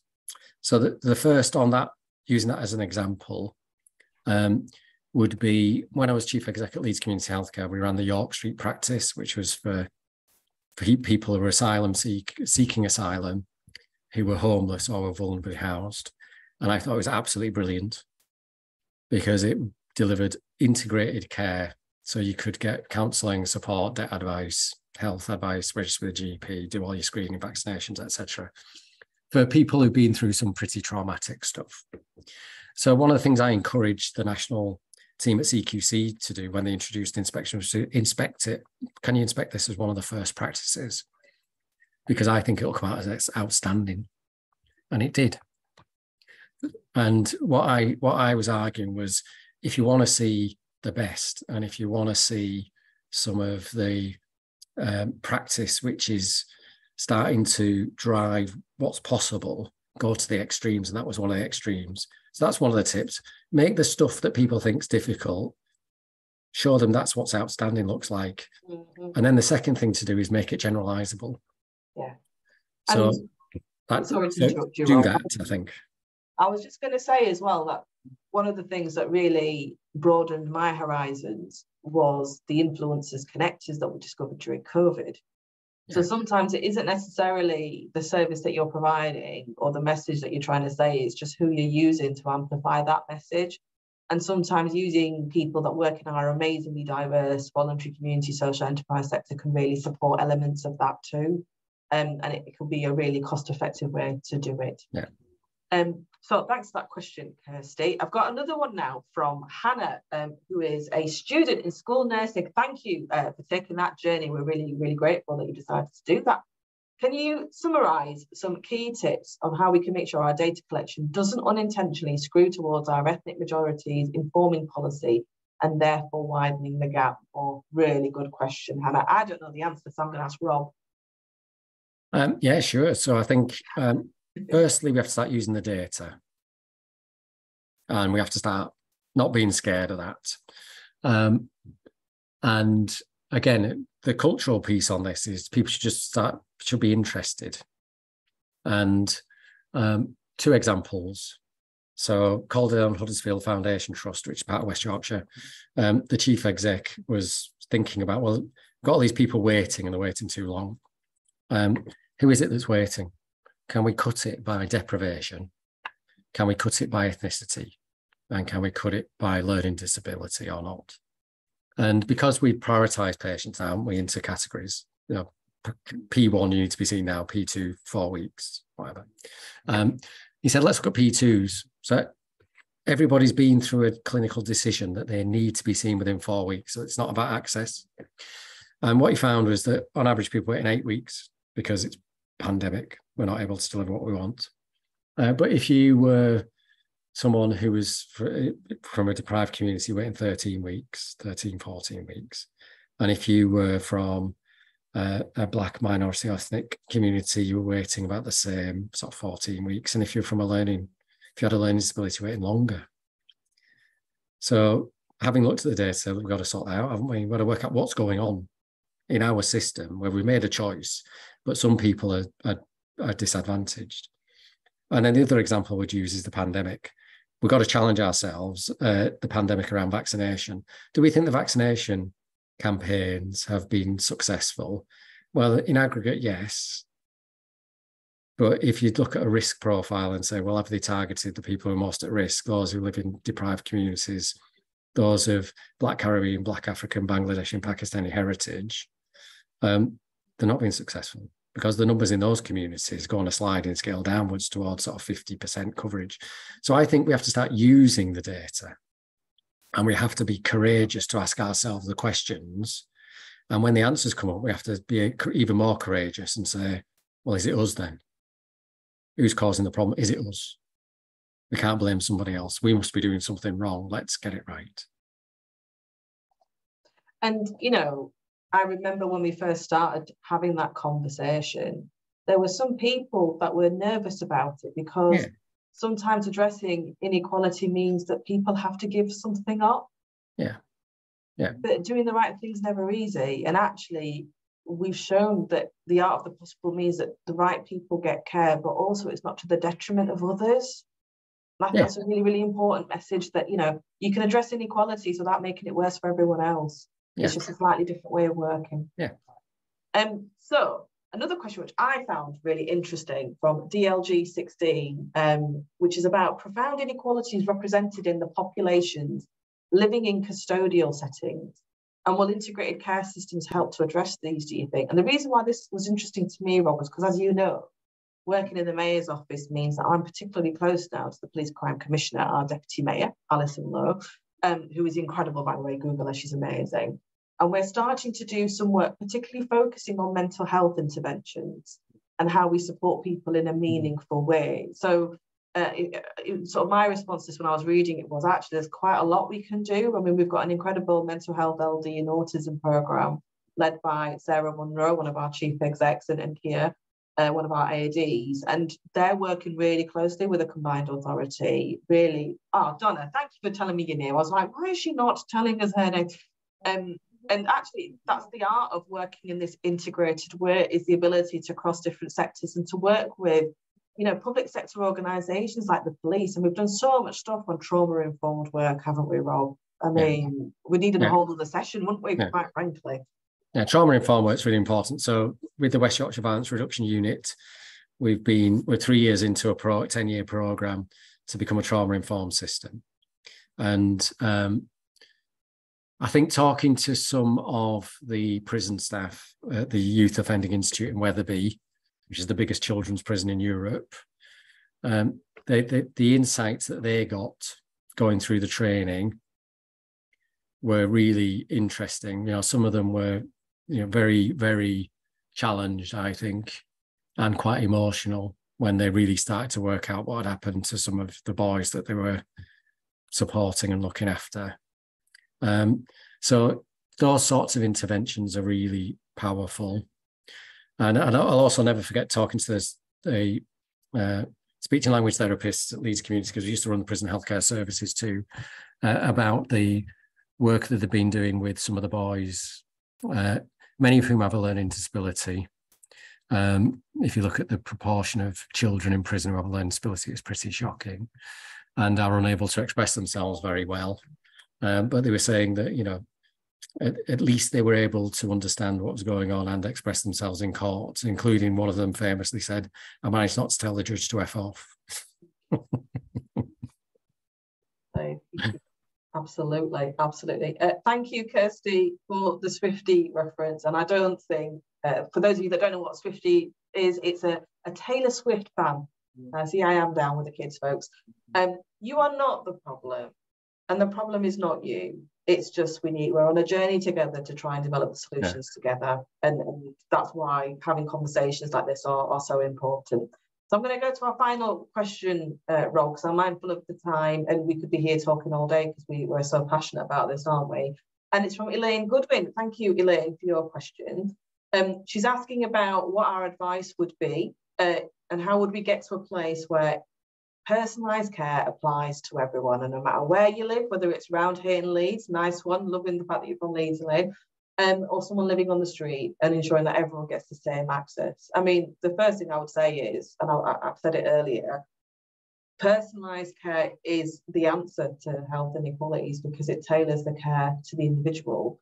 But part of the issue is giving people access to personalised care. And there's an element about cultural competence, as well as inclusive leadership here. And I think we're really in a fortunate position that our nurses are so diverse and have such diverse heritage as well as lived experience, which could really, really support this. I think the other thing I'd say before I bring in Rob is, is the power of things like continuing healthcare.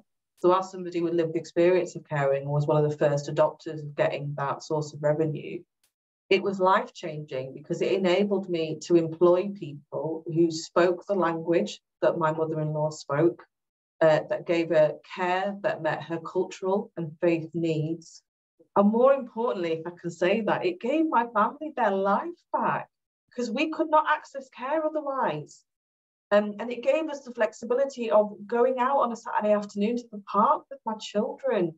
Um, so I really think continuing healthcare gets a really bad rep. I think it's life changing and, and, we need to amplify it and use it wherever we can. But Rob, what do you think um, is a way in which we can really ensure that everyone gets access to personalised care because it's so important? Yeah. So I think, um, so first, first thing to say is that I think that's what integrated care systems are for. You know, so modern modern systems need to help deliver um, and meet the mental, physical, and social needs of people. And we all know that, don't we? You all see that all the time. It's the mental, physical, and social needs of people. We're people, aren't we? Not body parts. And all those things intertwine. And we need to be create we need to integrate the workforce and integrate care so that people can have access to the kind of team that allows them to take the dog out for a walk, go to the pub, go to work, look after the kids, whatever it is that they need to do whilst keeping mentally well and physically well. Um, so, firstly, the sort of slightly trite thing to say is it's got to be at the heart of what we do and what we're for. We're not here to performance manage, just performance manage hospitals. That's not the job. The job is to improve outcomes and to meet the mental, physical, and social needs of people. Then the second thing I would point everybody to is there's a really nice, well, it's not nice, it's challenging and powerful report that's been published today by Lee, uh, London um, Business School, London University Business School, which they did in conjunction with us and with Sussex NHS Sussex, uh, and with a load of academics, which looks at how do you deliver universal healthcare. And the first finding of that is that a flat offer is an unequal offer. So if we're if we're just saying, look, you just get this, then what we get is what we've got today, which is massive inequalities, which leads to significant substantial problems now and down the line. So have a look at that report. We'll, we, we're using it to further change what we're doing because we're still not going to get it right all the time and things change all the time.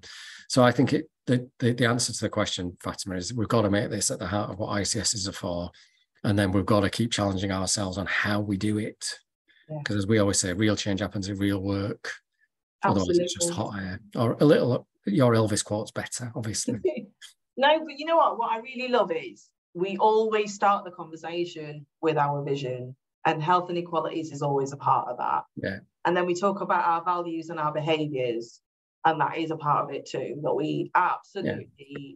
value and celebrate our diversity. So, so they're the things. I mean, we could talk about this all day, but I'm mindful we're between people's lunch, uh, and I would never ever want to get in the way of that.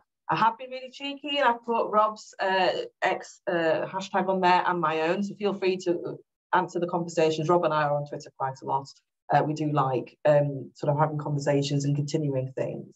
But I think there are some important messages that we, we maybe want to just close with, Rob, um, and I'll come to you in a second. I think the first thing is integrated care systems are the embodiment of the art of the possible when it comes to health inequalities and the benefits that collaborative partnership can bring.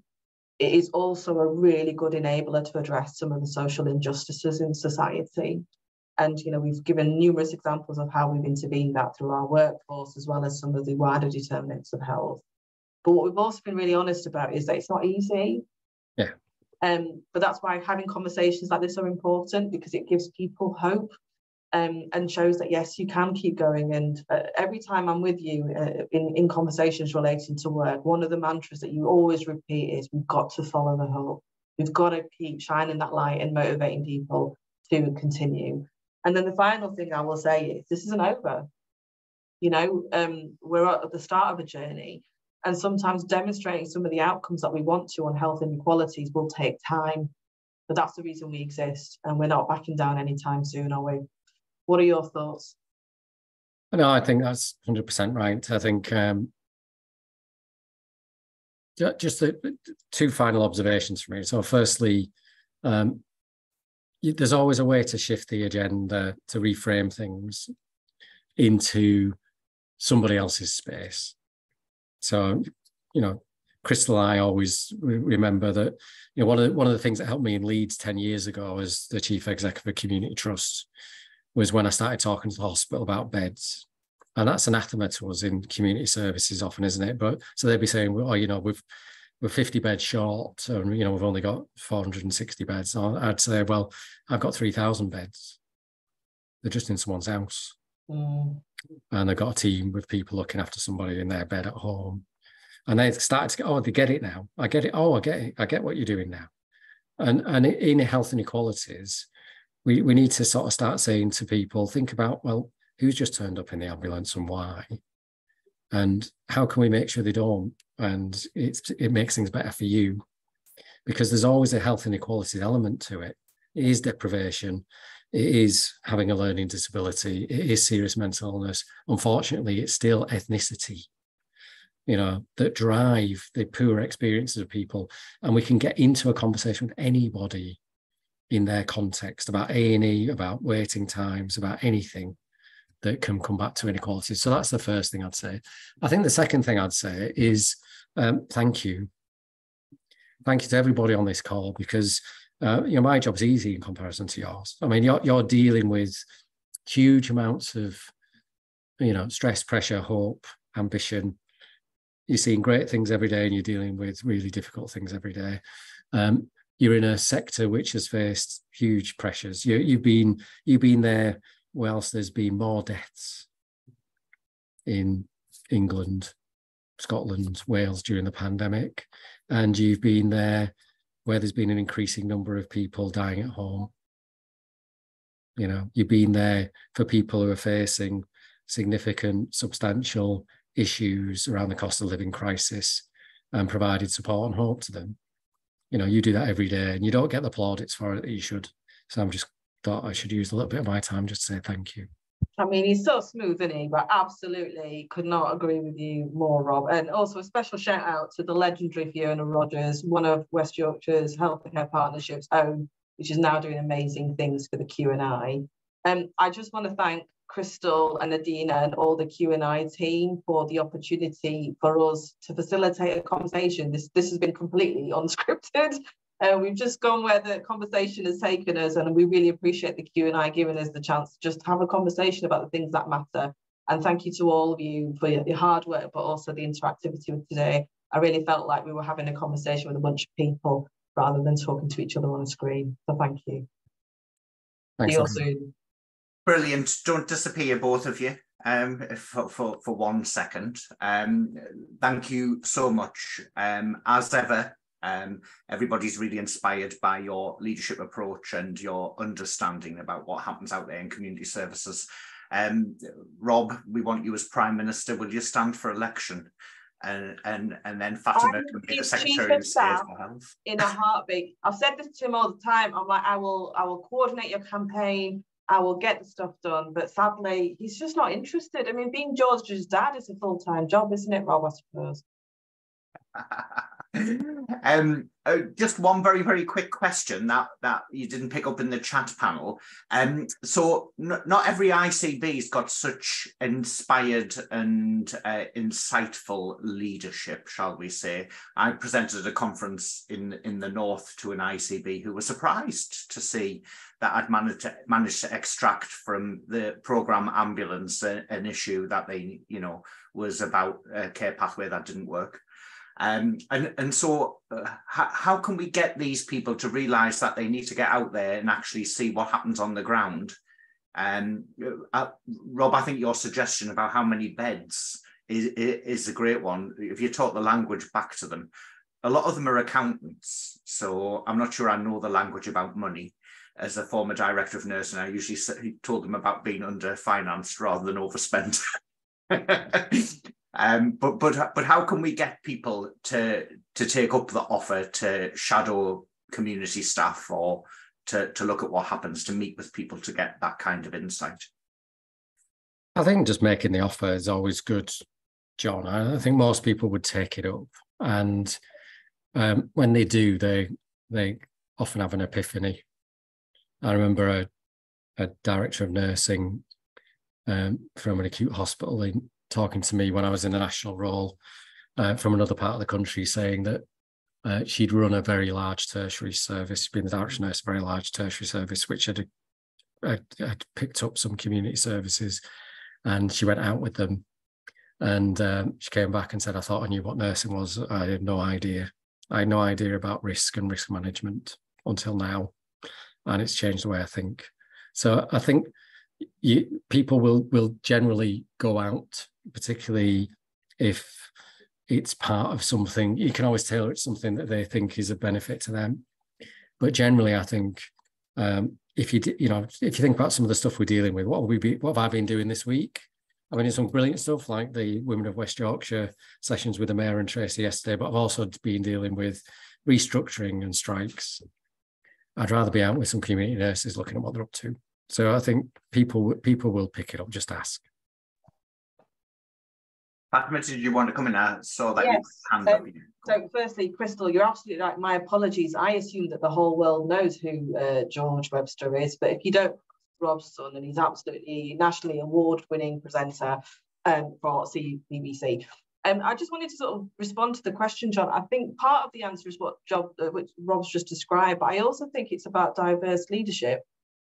So, you know, if you've, and I don't mean by heritage, I mean lived experience. So, you know, I'm a non exec director and I was a patient advocate and a carer. And I take back to the floors really seriously. I take, I think it's really important that we go out and we visit our services and we speak to patients about what it feels like. But we also, as part of my role of chairing the people committee, have our staff come in and talk to us as well um, and share with us what it's like to be out there because it needs to be a two-way conversation um, and we need to go where people are rather than expecting them to come and find us. So i think it's a combination of things and although in west yorkshire we've talked about our journey to be a diverse leadership we have got more to do and part of that is ensuring that the leadership we have on our boards is as diverse as it can be in a range of ways including professions. And i think senior nurses in leadership roles can change the dynamic of a board so to everyone on the call, aim high. You know, the, there is no glass ceiling as far as I'm concerned. Great, thank you very much both for an inspiring session and and great advice about how to potentially influence how, how things are turning out. Um, we probably all want to come work in Yorkshire now. Um, so, or, or could we just move the boundary? Can, will you take in the northeast as the north? We could be the North Riding and just make it bigger. I'll have a chat with Mia. She's next door. I'll see what she says. Yeah. Thank you very, very much indeed for for, for your um, insight and, and presentation. Thanks, everybody. Okay, everybody, we now have a, a lunch break, um, so please do go back to the lobby and check out the exhibitor booths. Uh, all their resources can be um, downloaded from those booths. Um, so while you're having lunch, if you wanted to have a little look around, if you go back to the VFairs lobby, you can have a look at the various resources that are there. So the break is until 13.45, so quarter to two. And when you come back, you'll have an option to join a roundtable session led by our wonderful Queen's nurses. There are a large range of, of sessions. We have decided to maximise attendance at the sessions, not to show the um, interview with Professor Alison Kitson, but if you didn't manage to see that on the two occasions that it was available yesterday, you will be able to see it after the event on the VFairs platform. So if you wish to join the roundtables after the break, please click on the roundtables tab at the top bar and it'll take you to a page where you'll be able to see and choose from the range of roundtables discussing various subjects. The first roundtable will start at 13.45 and finish at 10 past 2, and the second one starts at uh, 2.15 and finishes at uh, 20 to 3. Okay, um, so, and there's a slide on the screen to uh, confirm that information to you, which we will leave up. And then after the uh, roundtable sessions if you go back into the lobby, lobby and click on auditorium and we will then continue with today's session. So enjoy your lunch break um, and see you uh, a little bit later on. Thanks.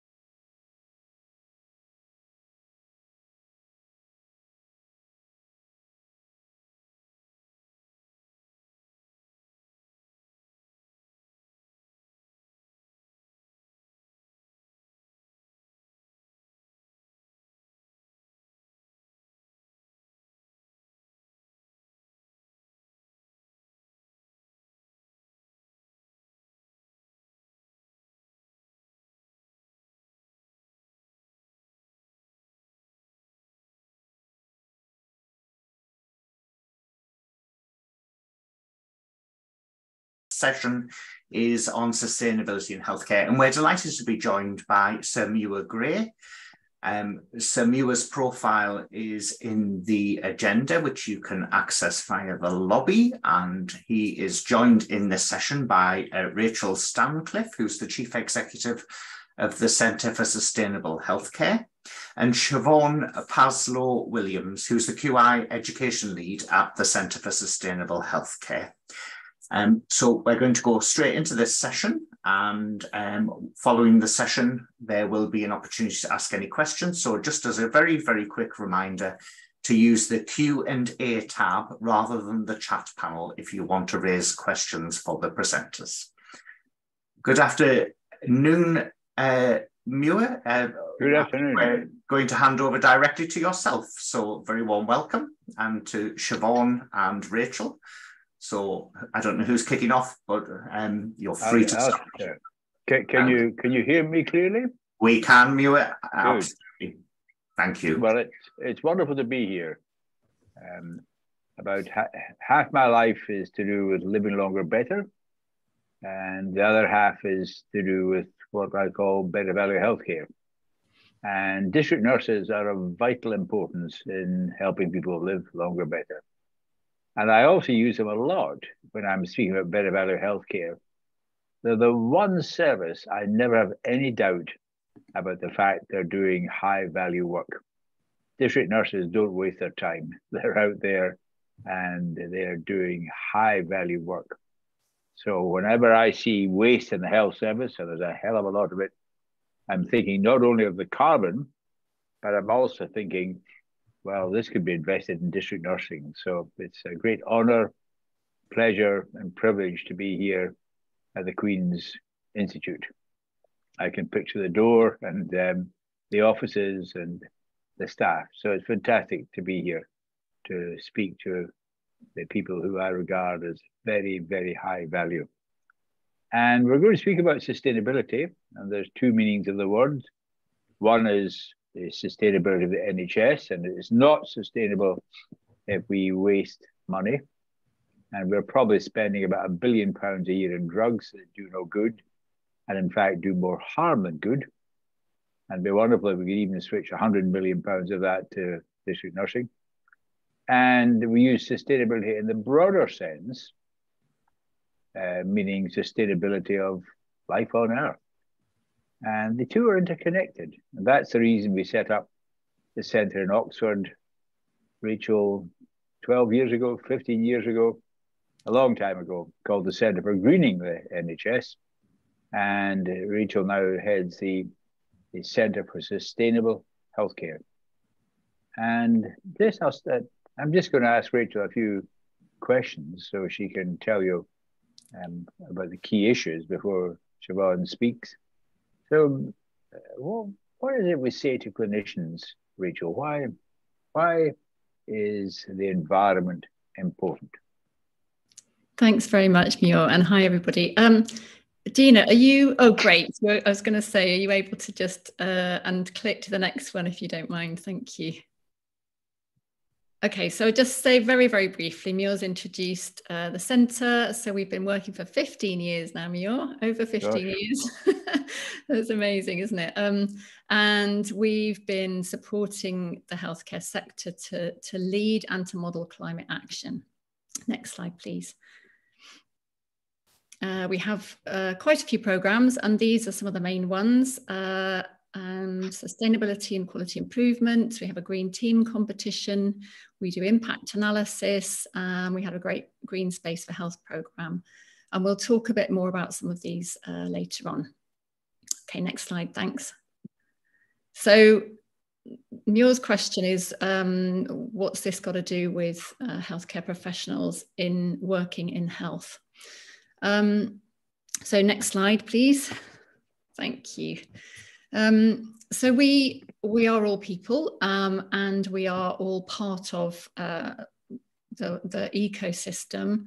And it's helpful, I think, for us to think not only about us as people, but us as, as working in healthcare and how healthcare intersects with all these different layers. So obviously, if we're talking to uh, a nurse specializing in kidney care, you've, you've focused down on a part of the body, but actually um, with outside uh, the whole of um, the work that we do are several more layers of um, impact and influence on what we do, both in our work and in our everyday lives.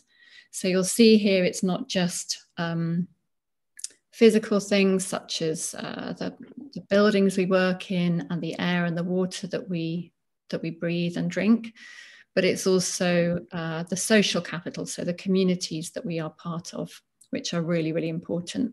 So when we understand that, and we understand that health is a really, really uh, integrated part of the natural environment, then it doesn't take uh, much to understand that if that environment's being uh, degraded and um, at risk, basically, that our health is also at risk. So um, next slide, please.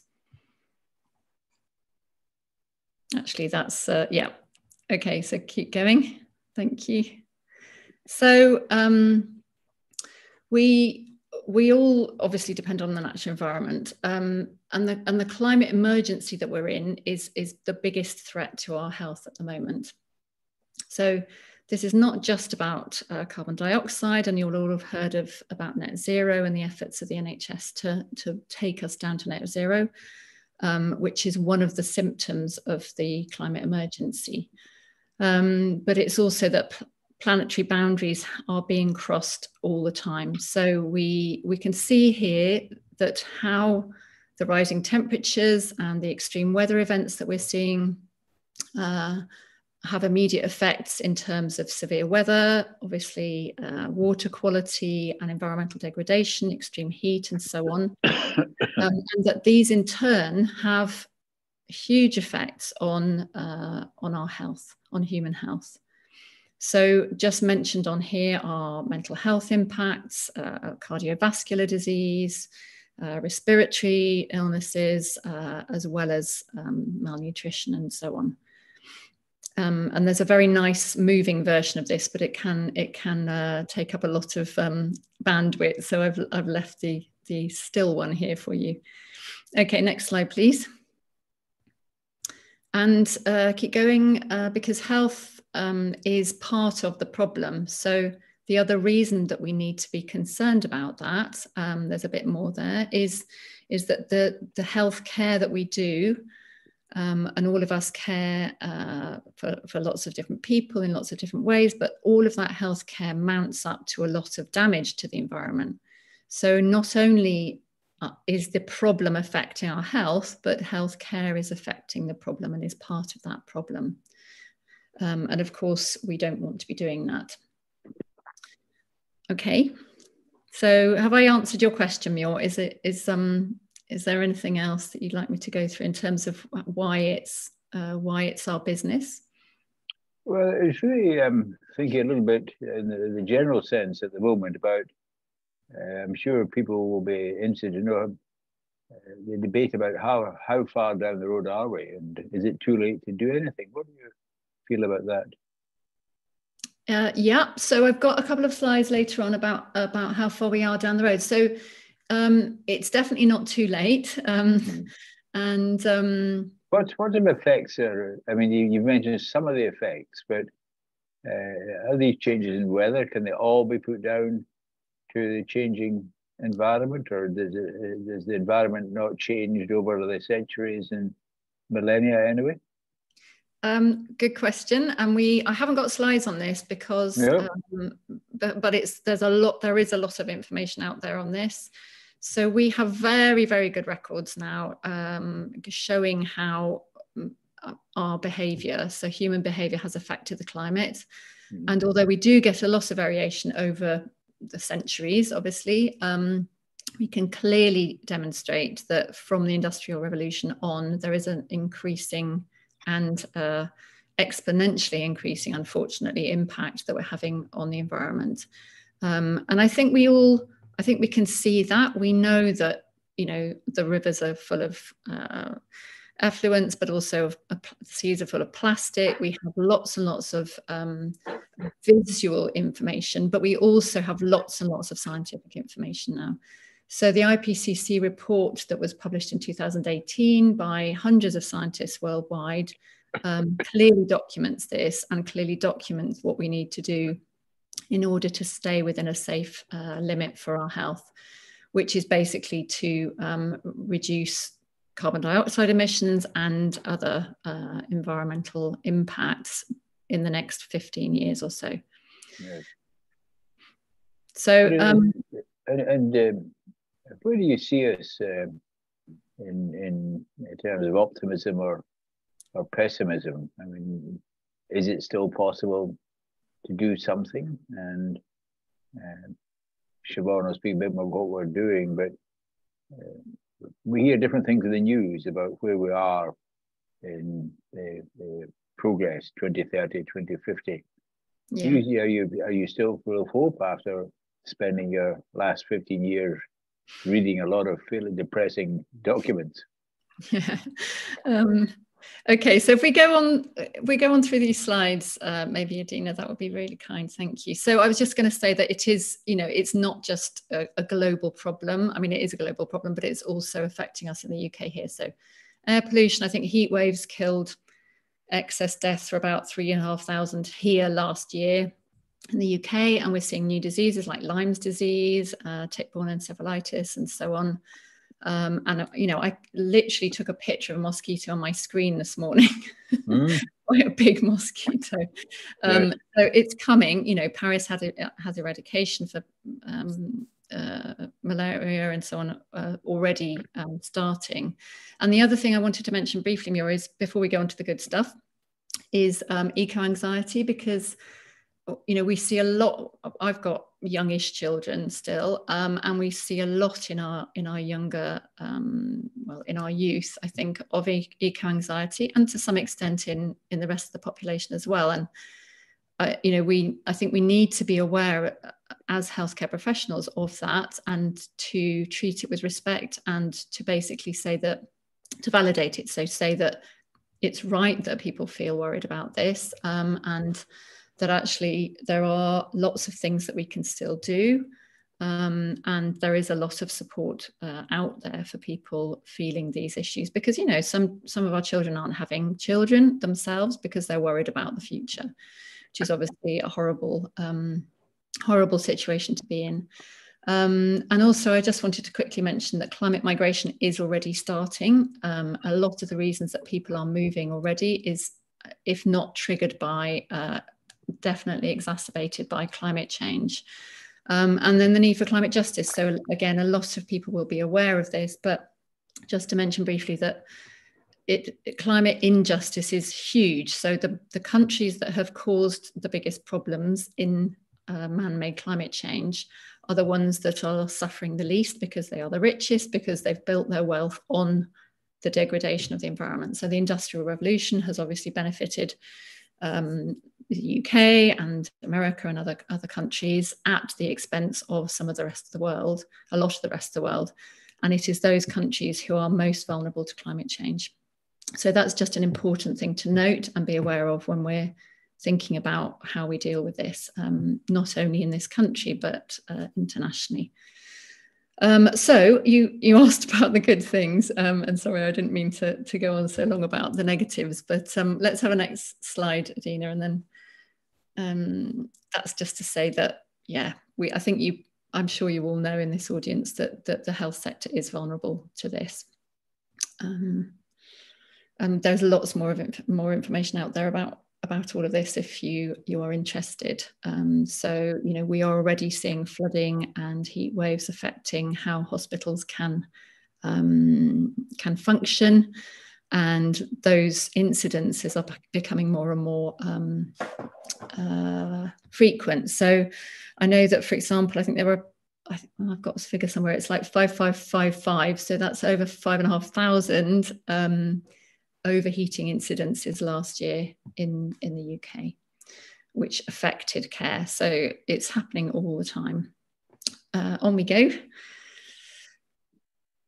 So it's not too late. Um, on we go. And um, it's not too late because uh, we have um, we have about 10 years 10 to 15 years in which to make big big changes and the role of the health sector in this is really, really important. So we can model change, we can show that it's possible to reduce our carbon, and the NHS has quite strong carbon reduction targets uh, set out by the Greener NHS. And uh, people are being supported to implement changes to make those. Um, we can also use our influence in wider society. So we can advocate for change at local and uh, level in our communities, but also in, uh, in work, which in some ways um, does uh, require a change of culture. We can educate ourselves and others. Uh, we can use the purchasing power that we have uh, within the NHS to improve the supply chain, which is really important because procurement's a big, big part of this. Um, and we can try and include sustainability in as many places as possible. So in policy, for example. Um, so this is just to say that we can't, so in, if we want to reduce our carbon footprint and our effect on the environment, we need to understand what it is and where it's coming from. So I know, Muir, that when we started working, um, we were really, in 2008, we were really surprised to find out that only about 20% of the whole of the impacts of healthcare on the environment were coming from the buildings and the energy directly from those buildings it's themselves because we were like this you know those huge great buildings they're going to have the most um, impact. But it's mm-hmm. um, they are about 20% transport is about 15% and all the rest is from the, the clinical work that's done in those uh, buildings. So you can see from this graph that um, medical instruments and pharmaceuticals are a massive part of that and actually, when we talk about, you know, how important it is to recycle, it is important, but you'll see that it's right at the end of that graph there. So it is, um, you know, recycling is is the last thing that we should be doing, although we should be doing it well, of course. Um, but looking at how we spend our um, our budgets in terms of the stuff that we that we use and the stuff that we throw away, all the time is really, really important. And as you said, Muir, it's very, very linked. So um, if we're using a lot of resources, we are spending a lot of money and we have less less time for staff. So we have more time, more money for stuff, we have less time for staff. Um, okay, next slide, please. Um, and this, I, I, find this helpful. I'm quite a visual person. And, and for me, this is a useful way of thinking how on earth are we going to get down to net zero? Because you know the, the trajectory as we're on at the moment is increasing slightly even. So we have to do a lot of different things because of aging population and so on increasing needs. So we have to do a lot of things um, and i won't go through all of that but what's important if you click the next slide is to note that quite a lot of these things are actually um, to to do with uh, clinical leadership and in innovation. So it's it's not um, it's not just going to be decarbonising the grid, and it's not going to be um, taking uh, take, taking different parts of the health system and making them net zero without the involvement of healthcare professionals. It's absolutely vital that we get nurses, doctors, and others on board in terms of making those changes um, because they are the people using these resources. Um, so, you know, the nursing is the largest profession, uh, and it we think it's uniquely placed. It's really important that um, you know if if you need any support with that if you have any questions about any of this that uh, we try and help to um, to give you the information that you need. Um, so yeah thank you yeah well, there's very very comprehensive we'll get we'll get questions keep, keep the questions uh, coming in and there's a, a, a, thing on the screen you can use to send questions as well as put yeah. them in the chat. And I but, think I was, there was there was also there's also a bit there about and I'm not sure um, if it's if it's kind of keep going a minute because I think there are some bits there about um, about co-benefits as well. So that's yes, important before yes, before what, what, what, what do you mean by co-benefit?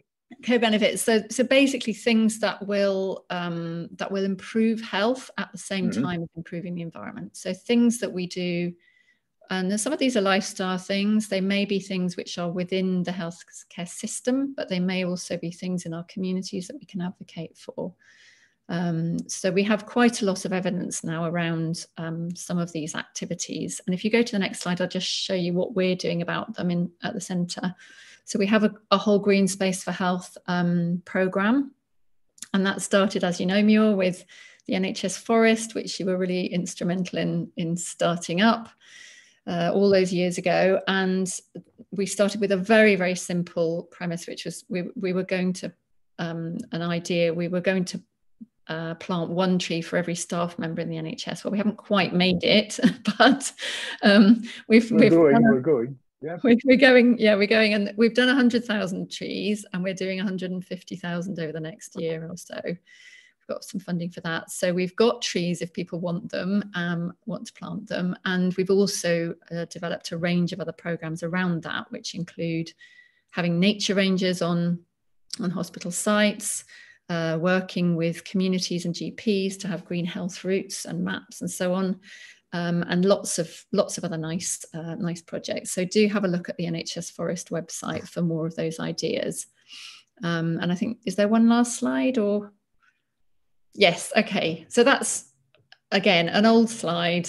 You'll probably recognize it. You'll have seen it um, elsewhere, hopefully. But this is the thing. This is the thing about co-benefits that what if we're doing all this stuff and you know, I mean, this was written 15, 20 years ago when people were still saying, oh, climate change isn't real so there was more of a reason for having it.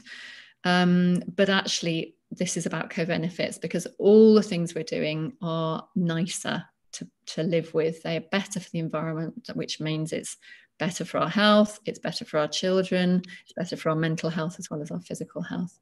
Um, so, yes, I think that's quite enough from me. Thanks, Muir. well, what we've had there is an overview of what the problem is and what we're trying to do about it. And uh, I think when we, we look forward, we need to understand this is very much tied up with the future of the NHS. The, the, and uh, we use the word stewardship a lot. That stewardship is stewardship of the NHS. Don't waste the NHS resources, and stewardship of the of the planet. It's an old-fashioned word, of stewardship, but it's now widely used. And of course, the best example of its use is in the stewardship of antibiotics. We've overused antibiotics, and it's at a, we're now reaping the, the whirlwind that's coming from there. But I met someone at the weekend, it had both cataracts done and hadn't noticed any difference. I said, Well, why did you have your cataracts done? Well, the optician said um, I had a cataract. So he just sort of got into the, the pipeline and um, all high quality work but it hadn't improved the quality of his life at all. The number of MRIs done has increased uh, about five times in the last 10 years. And you know, young doctors are now ordering MRIs before they've spoken to the patient. So these are huge issues that uh, to do with the changing nature of clinical practice.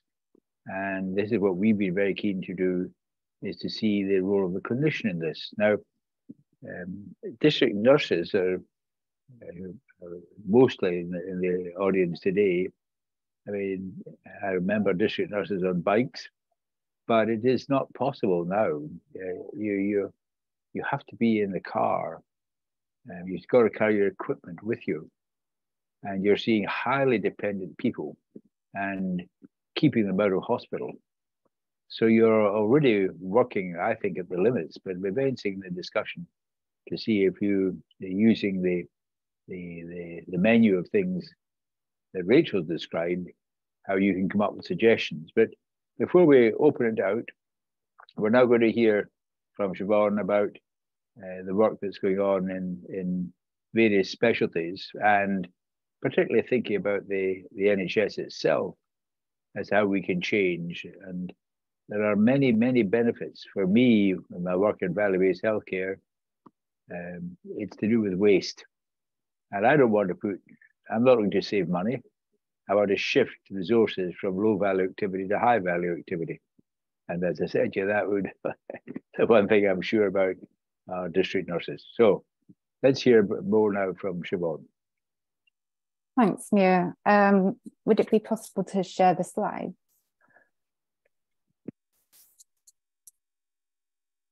Or I can share.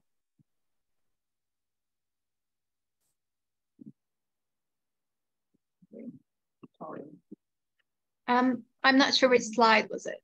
Um, uh, 55. Yeah. Fine. Oh yeah, here we go.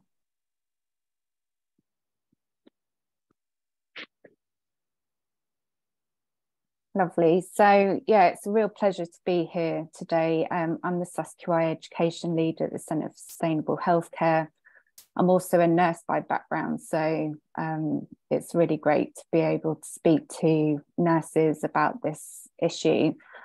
And what I want to talk about is what you can do in your everyday practice and give you some examples of um, some case studies which have used um, the sustainability and quality improvement framework um, to make some changes in practice. So next slide, please. So what can we do as health professionals? So nurses are ranked as the most trusted profession um, for the 20th year in a row. Um, so we can really use our voice and uh, influence in this area and make big changes. Uh, there's also, we're the biggest um, workforce within the health system. We work in all the sectors and we're always patient facing. There's 27.9 million nurses, I think, which was the last count from the World Health Organization. Uh, so if we're all doing small, manageable steps, we can make a real big difference within this area. Next slide, please. So it's one thing uh, knowing about the problem um, and the need for sustainable healthcare, but the reason uh, SUSQI, which is Sustainability and Quality Improvement, was developed was to really uh, enable us to take action within our scope of practice that is manageable and scalable and um, sort of smart in terms of goals. Next slide, please. So historically, sustainability has sat with estates and facilities, but as you've seen, uh, a lot of the carbon footprint comes from medical equipment, pharmaceuticals, uh, gases, um, anesthetic gases, etc.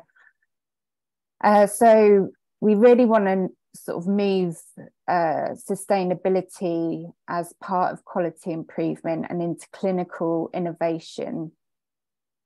Next slide, please.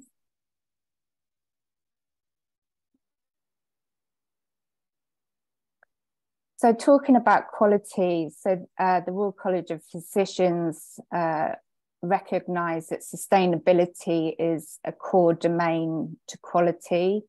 that it must run through and moderate all other uh, domains because we really need to make sure that not only is healthcare sustainable and um, addressing the needs of today, but we also need to make sure that our healthcare system is sustainable for future generations.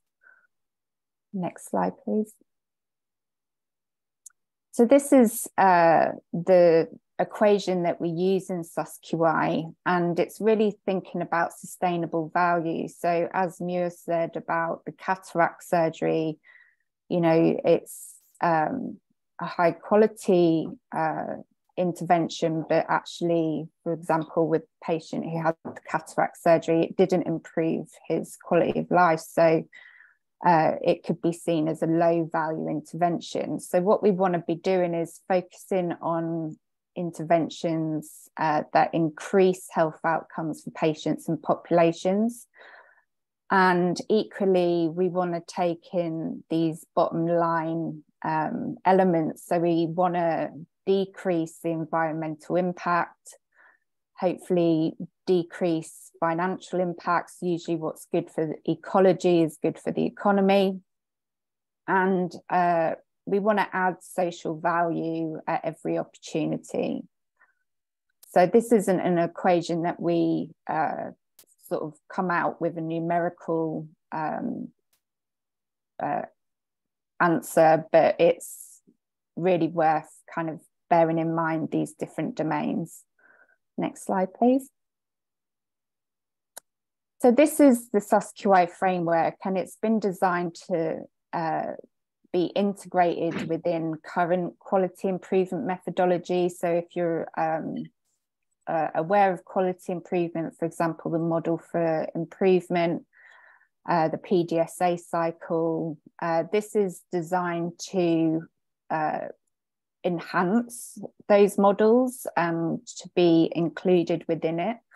So it's broken down into four simple steps. So setting goals, studying the system, designing the improvement, and finally measuring the impact of sustainable value. Next slide, please.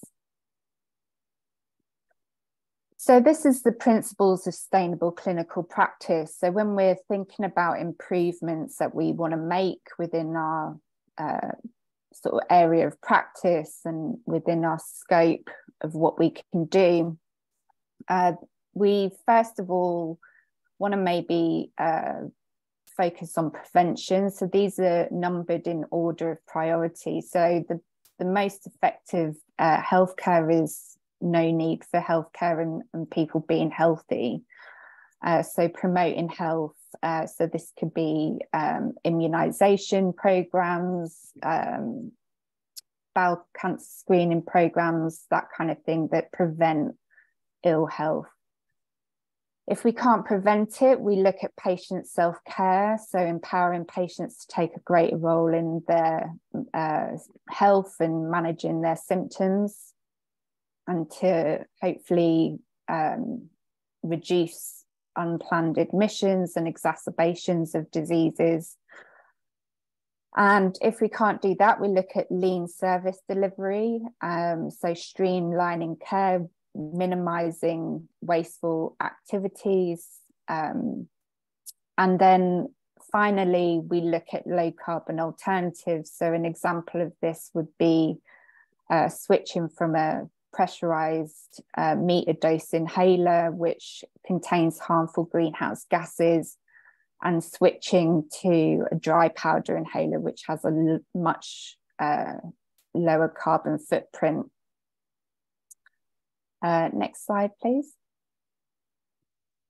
So for nurses, uh, these principles of sustainable clinical practice really relate to the NMC code and is really a duty for us as nurses. So for example, prevention uh, is part of uh, the code in terms of promoting well-being and ill, ill health.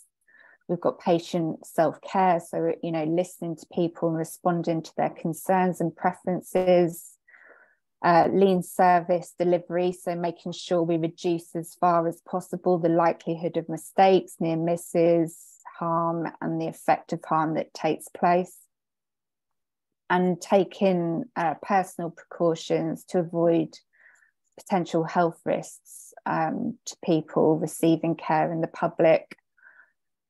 And then the low carbon alternatives um, is really around sort of identifying uh, priorities, managing time, resources effectively. So nurses really have a lot of transferable skills um, to apply to sustainable healthcare. Uh, next slide, please.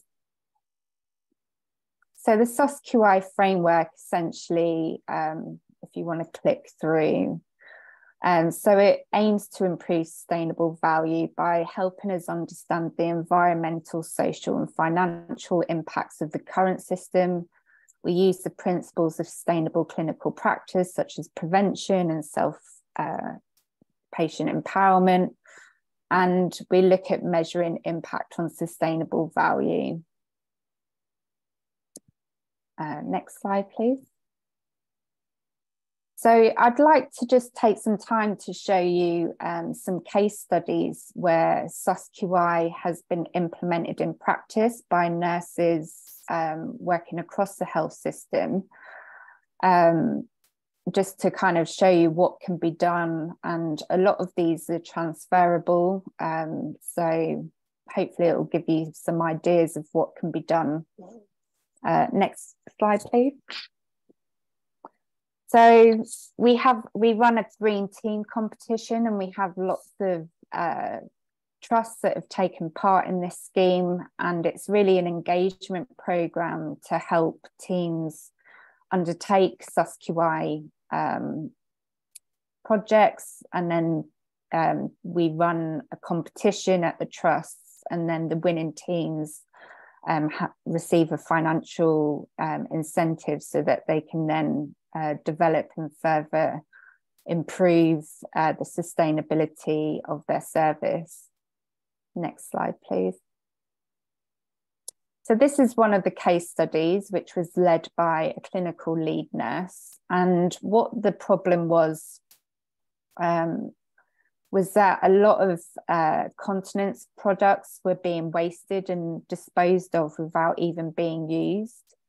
Um, so this contributed to the trust carbon footprint and a lot of the um, continence pro- products that they were looking at were pulp products uh, were being left in um, areas where it was unsure whether due to infection control risk whether they could be used and when they did an audit um, they found that around 10,000 items of pulp uh, products were being wasted a year.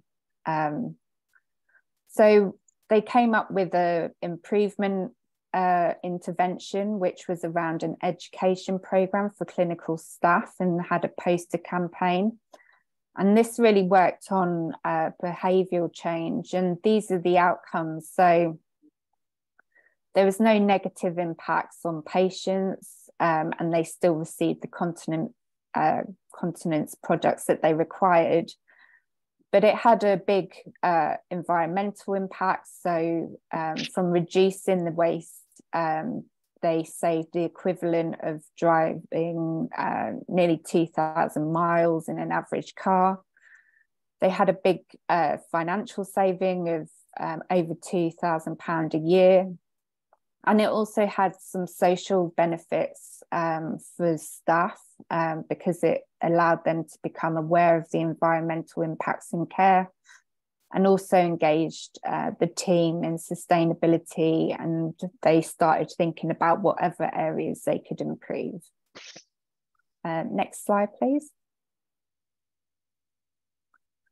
So this is another uh, case study which was led by nurses at South Warwickshire University uh, Hospital Trust, and it was around um, insulin pens, which are usually single use and disposed of in general waste. So really contributing to the plastic and medication waste within the health system. And there was actually um, what they wanted to do is uh, switch to smart pens, um, which was really beneficial because actually we're facing a shortage of insulin pens globally at the moment due to the increased demand and the increase of diabetes. Um, so these smart pens, um, which are reusable, they last five years, um, but they had a benefit um, in in terms of uh, that they had a digital memory. Um, so the memory would um, store data on the time and the dose of insulin. And so the practical benefits were that it, this enabled uh, patients to take more uh, sort of an active role in their management of uh, uh, administrating their insulin, but it also potentially could uh, reduce the number of district nursing checks required because um, obviously it's stored in the memory. So the environmental uh, impact of this, uh, they saved uh, over 5,000 miles uh, of carbon, which in an average car. Uh, the reusable insulin pens, um, there was an additional, there was an annual saving of nearly £500, but actually uh, up to £15,000 by eliminating daily district nurse visits um, for one patient. And they also uh, set up a pen cycle initiative where uh, the single use pens were being recycled. So there was a slight postage cost to the trust, but um, obviously the environmental impact uh, was huge. Uh, social impacts um, so, you know, the reusable pens provided reassurance, providing uh, that to patients and potentially the reduced uh, need for district nursing appointments. So, um, increasing their time. And the recycling brings wider benefits and engages staff and patients in positive actions. Uh, so, uh, next slide, please. So this is another one uh, that was done at South Warwickshire University NHS Foundation Trust, and it was around reducing routine blood testing, um, particularly in uh, the elderly population. So the problem that they identified was that many elderly patients were having regular blood tests as inpatients. Um, some of them were having daily blood tests um, and what they found was actually, you know, there was a lot of excessive blood tests, which are obviously invasive, they're painful, uh, and can can be quite distressing to patients. And it exposes patients to unnecessary harm and leads to excessive healthcare waste in terms of the consumables that um, are needed for phlebotomy and in the labs. So um, a decision making tool uh, was implemented to guide uh, clinicians in terms of uh, if a blood test was actually required, um, because I think there was a, a case of uh, just in case um, sort of behavior culture going on. Um, and if so, if patient did require blood test, um, it was the decision making tool helped them uh, figure out what test was essential to guide uh, clinical outcomes and treatment. So, an intervention was uh, put into place, and um, an education program was um, implemented with clinical staff. And this had, uh, as you can see on this slide, um, obviously the reduced risks of bruising, um, skin damage, um, infection, um, and particularly within the elderly population where skin integrity is uh, poorer, potentially, uh, you know, it, it reduced uh, the distress in those that were vulnerable or had cognitive impairments, and it reduced uh, discharge delays because bloods were being ordered and then um, you know that perhaps weren't necessary but they were waiting on results. Um, so this improved patient flow. The environmental impact so it saved 937 kilos of co2 equivalent um, and that was from the reduced consumables um, and blood processing it had a really big financial saving of uh, eighteen and a half thousand pounds a year. Um, and the social impacts with its staff and patients um, were in agreement that excess, excessive testing was a problem. Staff gained time to focus on other tasks, and uh, there was lab staff um, to save uh, nearly 5,000 hours a year in processing time, and less t- testing will likely improve patient satisfaction. Uh, last slide. So, this is the last uh, case study, um, or actually, second to last. So, this is around um, greener personal protective uh, equipment. So, this was done at Northampton General Hospital. And the problem that was identified which I'm sure all of us are uh, acutely aware of, is that there was a substantial uh, increase in PPI items uh, following the COVID pandemic. So it increased from 2.2.5 billion uh, to 8.7 billion items in 2020. Next slide, please. So the infection prevention and control team uh, put in an intervention to educate uh, staff in terms of the excessive use of PPE. And uh, so this really came into lean pathways of the clinical um, principles. And what they actually found was a lot of uh, staff were wearing uh, gloves and, you know, full PPE, but actually this was uh, potentially increasing the risk of infection because people wearing the same gloves from patient to patient. Um, and actually, it was more effective um, to gel hands between OBS um, or wash hands. Um, and also, this helped for staff skin integrity because obviously wearing latex gloves um, or nitrile gloves uh, can really degrade the skin and cause dermatitis. So it had social benefits and health benefits for staff as well. Next slide, please. So they had a, a, a huge reduction in glove use and apron uh, use. And they had an increase in staff knowledge around infection control and uh, they saved £23,704, um, which could fund a, you know, a part-time nurse. Um, huge financial, uh, sorry, environmental savings. And they had positive feedback from staff um, and uh, sort of the benefits of uh, changing that culture of um, overuse of PPE. Next slide, please. So this is just the last one. So it's looking at reducing cannulation in ED. Um, if you go to the next slide. Uh, so the team really focused on medical equipment as a hotspot within ED. Next slide, please.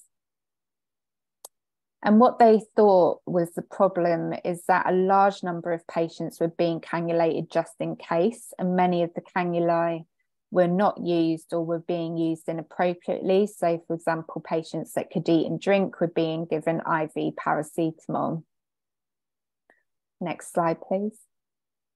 So they did a process map and they looked at the ecological costs, the social costs, and the financial costs um, of this process. So they were studying the system. And then next slide, please. So this really focused on lean pathways. So this is sort of an unnecessary uh, for some people um, intervention. So they wanted to cut out that wasteful activity. Next slide, please. So what they did is they measured the number of cannula inserted per week and then the number of cannula that weren't used or were used inappropriately. And then they put an intervention in place uh, to engage staff, which they called Think Before You Cannulate. And then they measured uh, the number of cannula uh, inserted and those that weren't used um, after the intervention was put in place. Next slide. So what they found after this is they had a 59% reduction in cannulas being inserted uh, in the first place. And they also had uh, a 66% reduction in cannulas that were being used unnecessarily. Uh, next slide. So uh, this had some really positive patient and population outcomes. It reduced the risk of infection, uh, less inappropriate use of IV uh, fluids. Um, they had an annual saving of nearly £30,000. So again, could uh, provide more uh, staff um, in that saving. Uh, it had a big carbon saving and it increased patients' uh, mobility and independence, obviously reducing pain. And it had a big social value in terms of staff time and improved workflow. Uh, next slide. So is there any questions at this point before I go on to I think if we can come to questions at the end, Siobhan. Yeah, yeah. keep going. There, there okay. are some questions, but Rachel's been answering some of them in the Q&A panel. Oh, brilliant. Okay. That would be great. Uh, next slide then, please. So if uh, you are interested in um, replicating or doing your own study, uh, project, improvement uh, project, we have uh, lots of free resources detailing um, how you can go about doing that project. Uh, so we have a step-by-step guide and we have lots of resources in terms of how to carbon footprint, how to measure social value, um, and they're all free downloadable resources um, on our website. We also um, have a e-learning uh, for health module uh, which is freely available. Um, and that is on SUSQI. Um, so if you want to learn more about this, um, then I would definitely recommend going over to that and completing that. Uh, next slide. So uh, just to let you know that we we have a beacon site program. So the trusts and uh, universities that are teaching sustainability and quality improvement are coming on board and being recognized as either aspiring beacon sites. Um, so that means working towards um, embedding this into current quality improvement teaching. And we also have established beacon site status for those um, that have successfully embedded sustainability in their quality improvement education. Um, so if this is something that you're interested in, um, head over to our website and you can apply um, through, through there. Next slide, please. And in addition to that, we also offer the SUSQI Academy. So this really allows you to become an expert in SUSQI and to be able to teach it and embed it into your um, programs and QI teaching within your area of practice. Um, it includes uh, places on our courses. So um, our SUSQI course um, our teaching SUSQI course and also um, carbon footprinting. And um, it just helps sort of develop confidence and uh, you would get time to work with the SUSQI experts at CSH um, to embed this into your work. Uh, and to apply for that, um, again, it's on our website. Uh, next slide, please. So at CSH, we have lots of networks. Um, one that I would really like to point out to you is our Nursing SUSNet network. And um, every month we have a free Zoom uh, meeting where nurses can come along who are interested or already working in this uh, sustainability speciality. Um, and it's an informal uh, Zoom meeting where you can network, and each month we have a different speaker, so you can find out about the latest developments within this field. Uh, next slide, please. And like I said, we have lots of courses at CSH um, covering lots of different uh, specialities. Um, so do head over to our website if you're interested in any of those. And we've got a QR code on there if you want to scan that. And next slide, I think that's it. Thank you very much. Excellent. Well, Thank you very much. Oh, sorry, Muir. Go ahead. Yeah, we've, we've, we've covered a lot of ground. We won't have time to deal with all the questions, but we will respond to the questions. And um, I think we'd like to meet with the QNI, particularly to discuss this issue. Um, uh, fair enough, the uh, reducing the number of district nurse visits may seem a good thing, but I remember a district nurse saying to me, we tell old people to put their leg up and they'll also get better, but we're saying put your leg up and I'll stop coming to see you. Isolation is such a huge problem and we need to think of ways we can substitute. We're looking at digital ways for doing that uh, to reduce the dependence on district nursing. So I think we'd very much like to meet with the QNI and uh, look at the particular issue. For example, electric bikes. Um, in Oxford, as roads are closed off, electric bikes or electric tricycle may become a much more sustainable and healthier option. So, Rachel, do you think that would be a good thing that we could do as a follow up to this? Yeah, absolutely. Um, uh, there is there is a lot going on, and and as Siobhan said, um, the network's a great place to share questions and ideas um, and ask for help. Um, some of you in the um, in the Q and A have asked about you know scaling best practice. Again, you know we're a small organization there's only 30 of us uh, there are loads of people to help. So we need lots of people on board and that's the idea of the SUSQI Academy and other other training programs like that is to get more people trained up so that we can we can have more people helping. Um, and the other question I think that was in another question in here that we that I thought we might look at if we've got time which was um, from Graham which is basically saying, uh, which might be a good one for you, Muir, these are fantastic initiatives. Concern is that the NHS is incredibly bureaucratic and, you know, it takes six people and a thousand pounds to change a light bulb.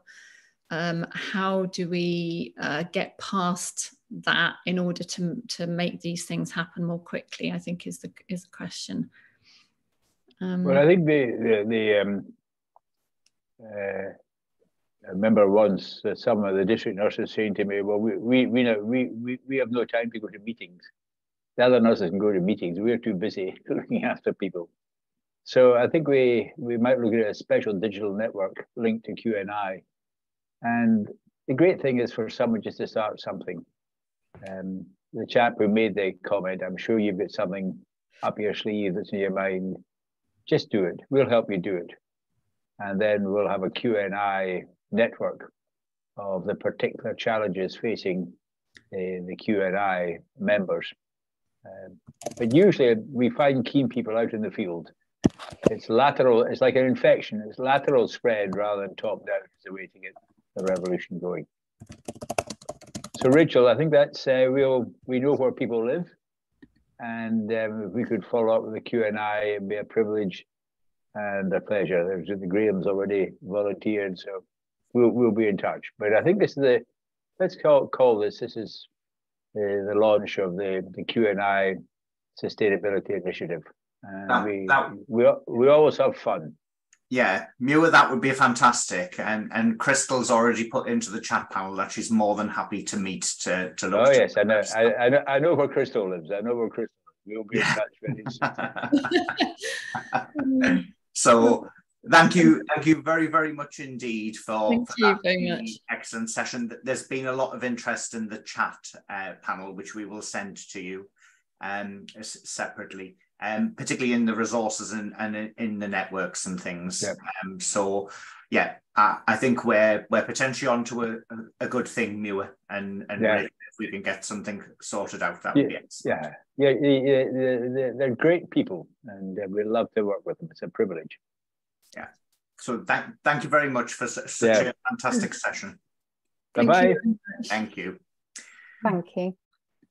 Okay, then, colleagues, um, we're almost closed um, in terms of today's session. So um, just need to do some thanks for really what has been a fantastic day. It's been an excellent day, really thought provoking um, from uh, Rob and Fatima's discussion this morning in terms of tackling health inequalities and through integrated care boards and integrated care systems.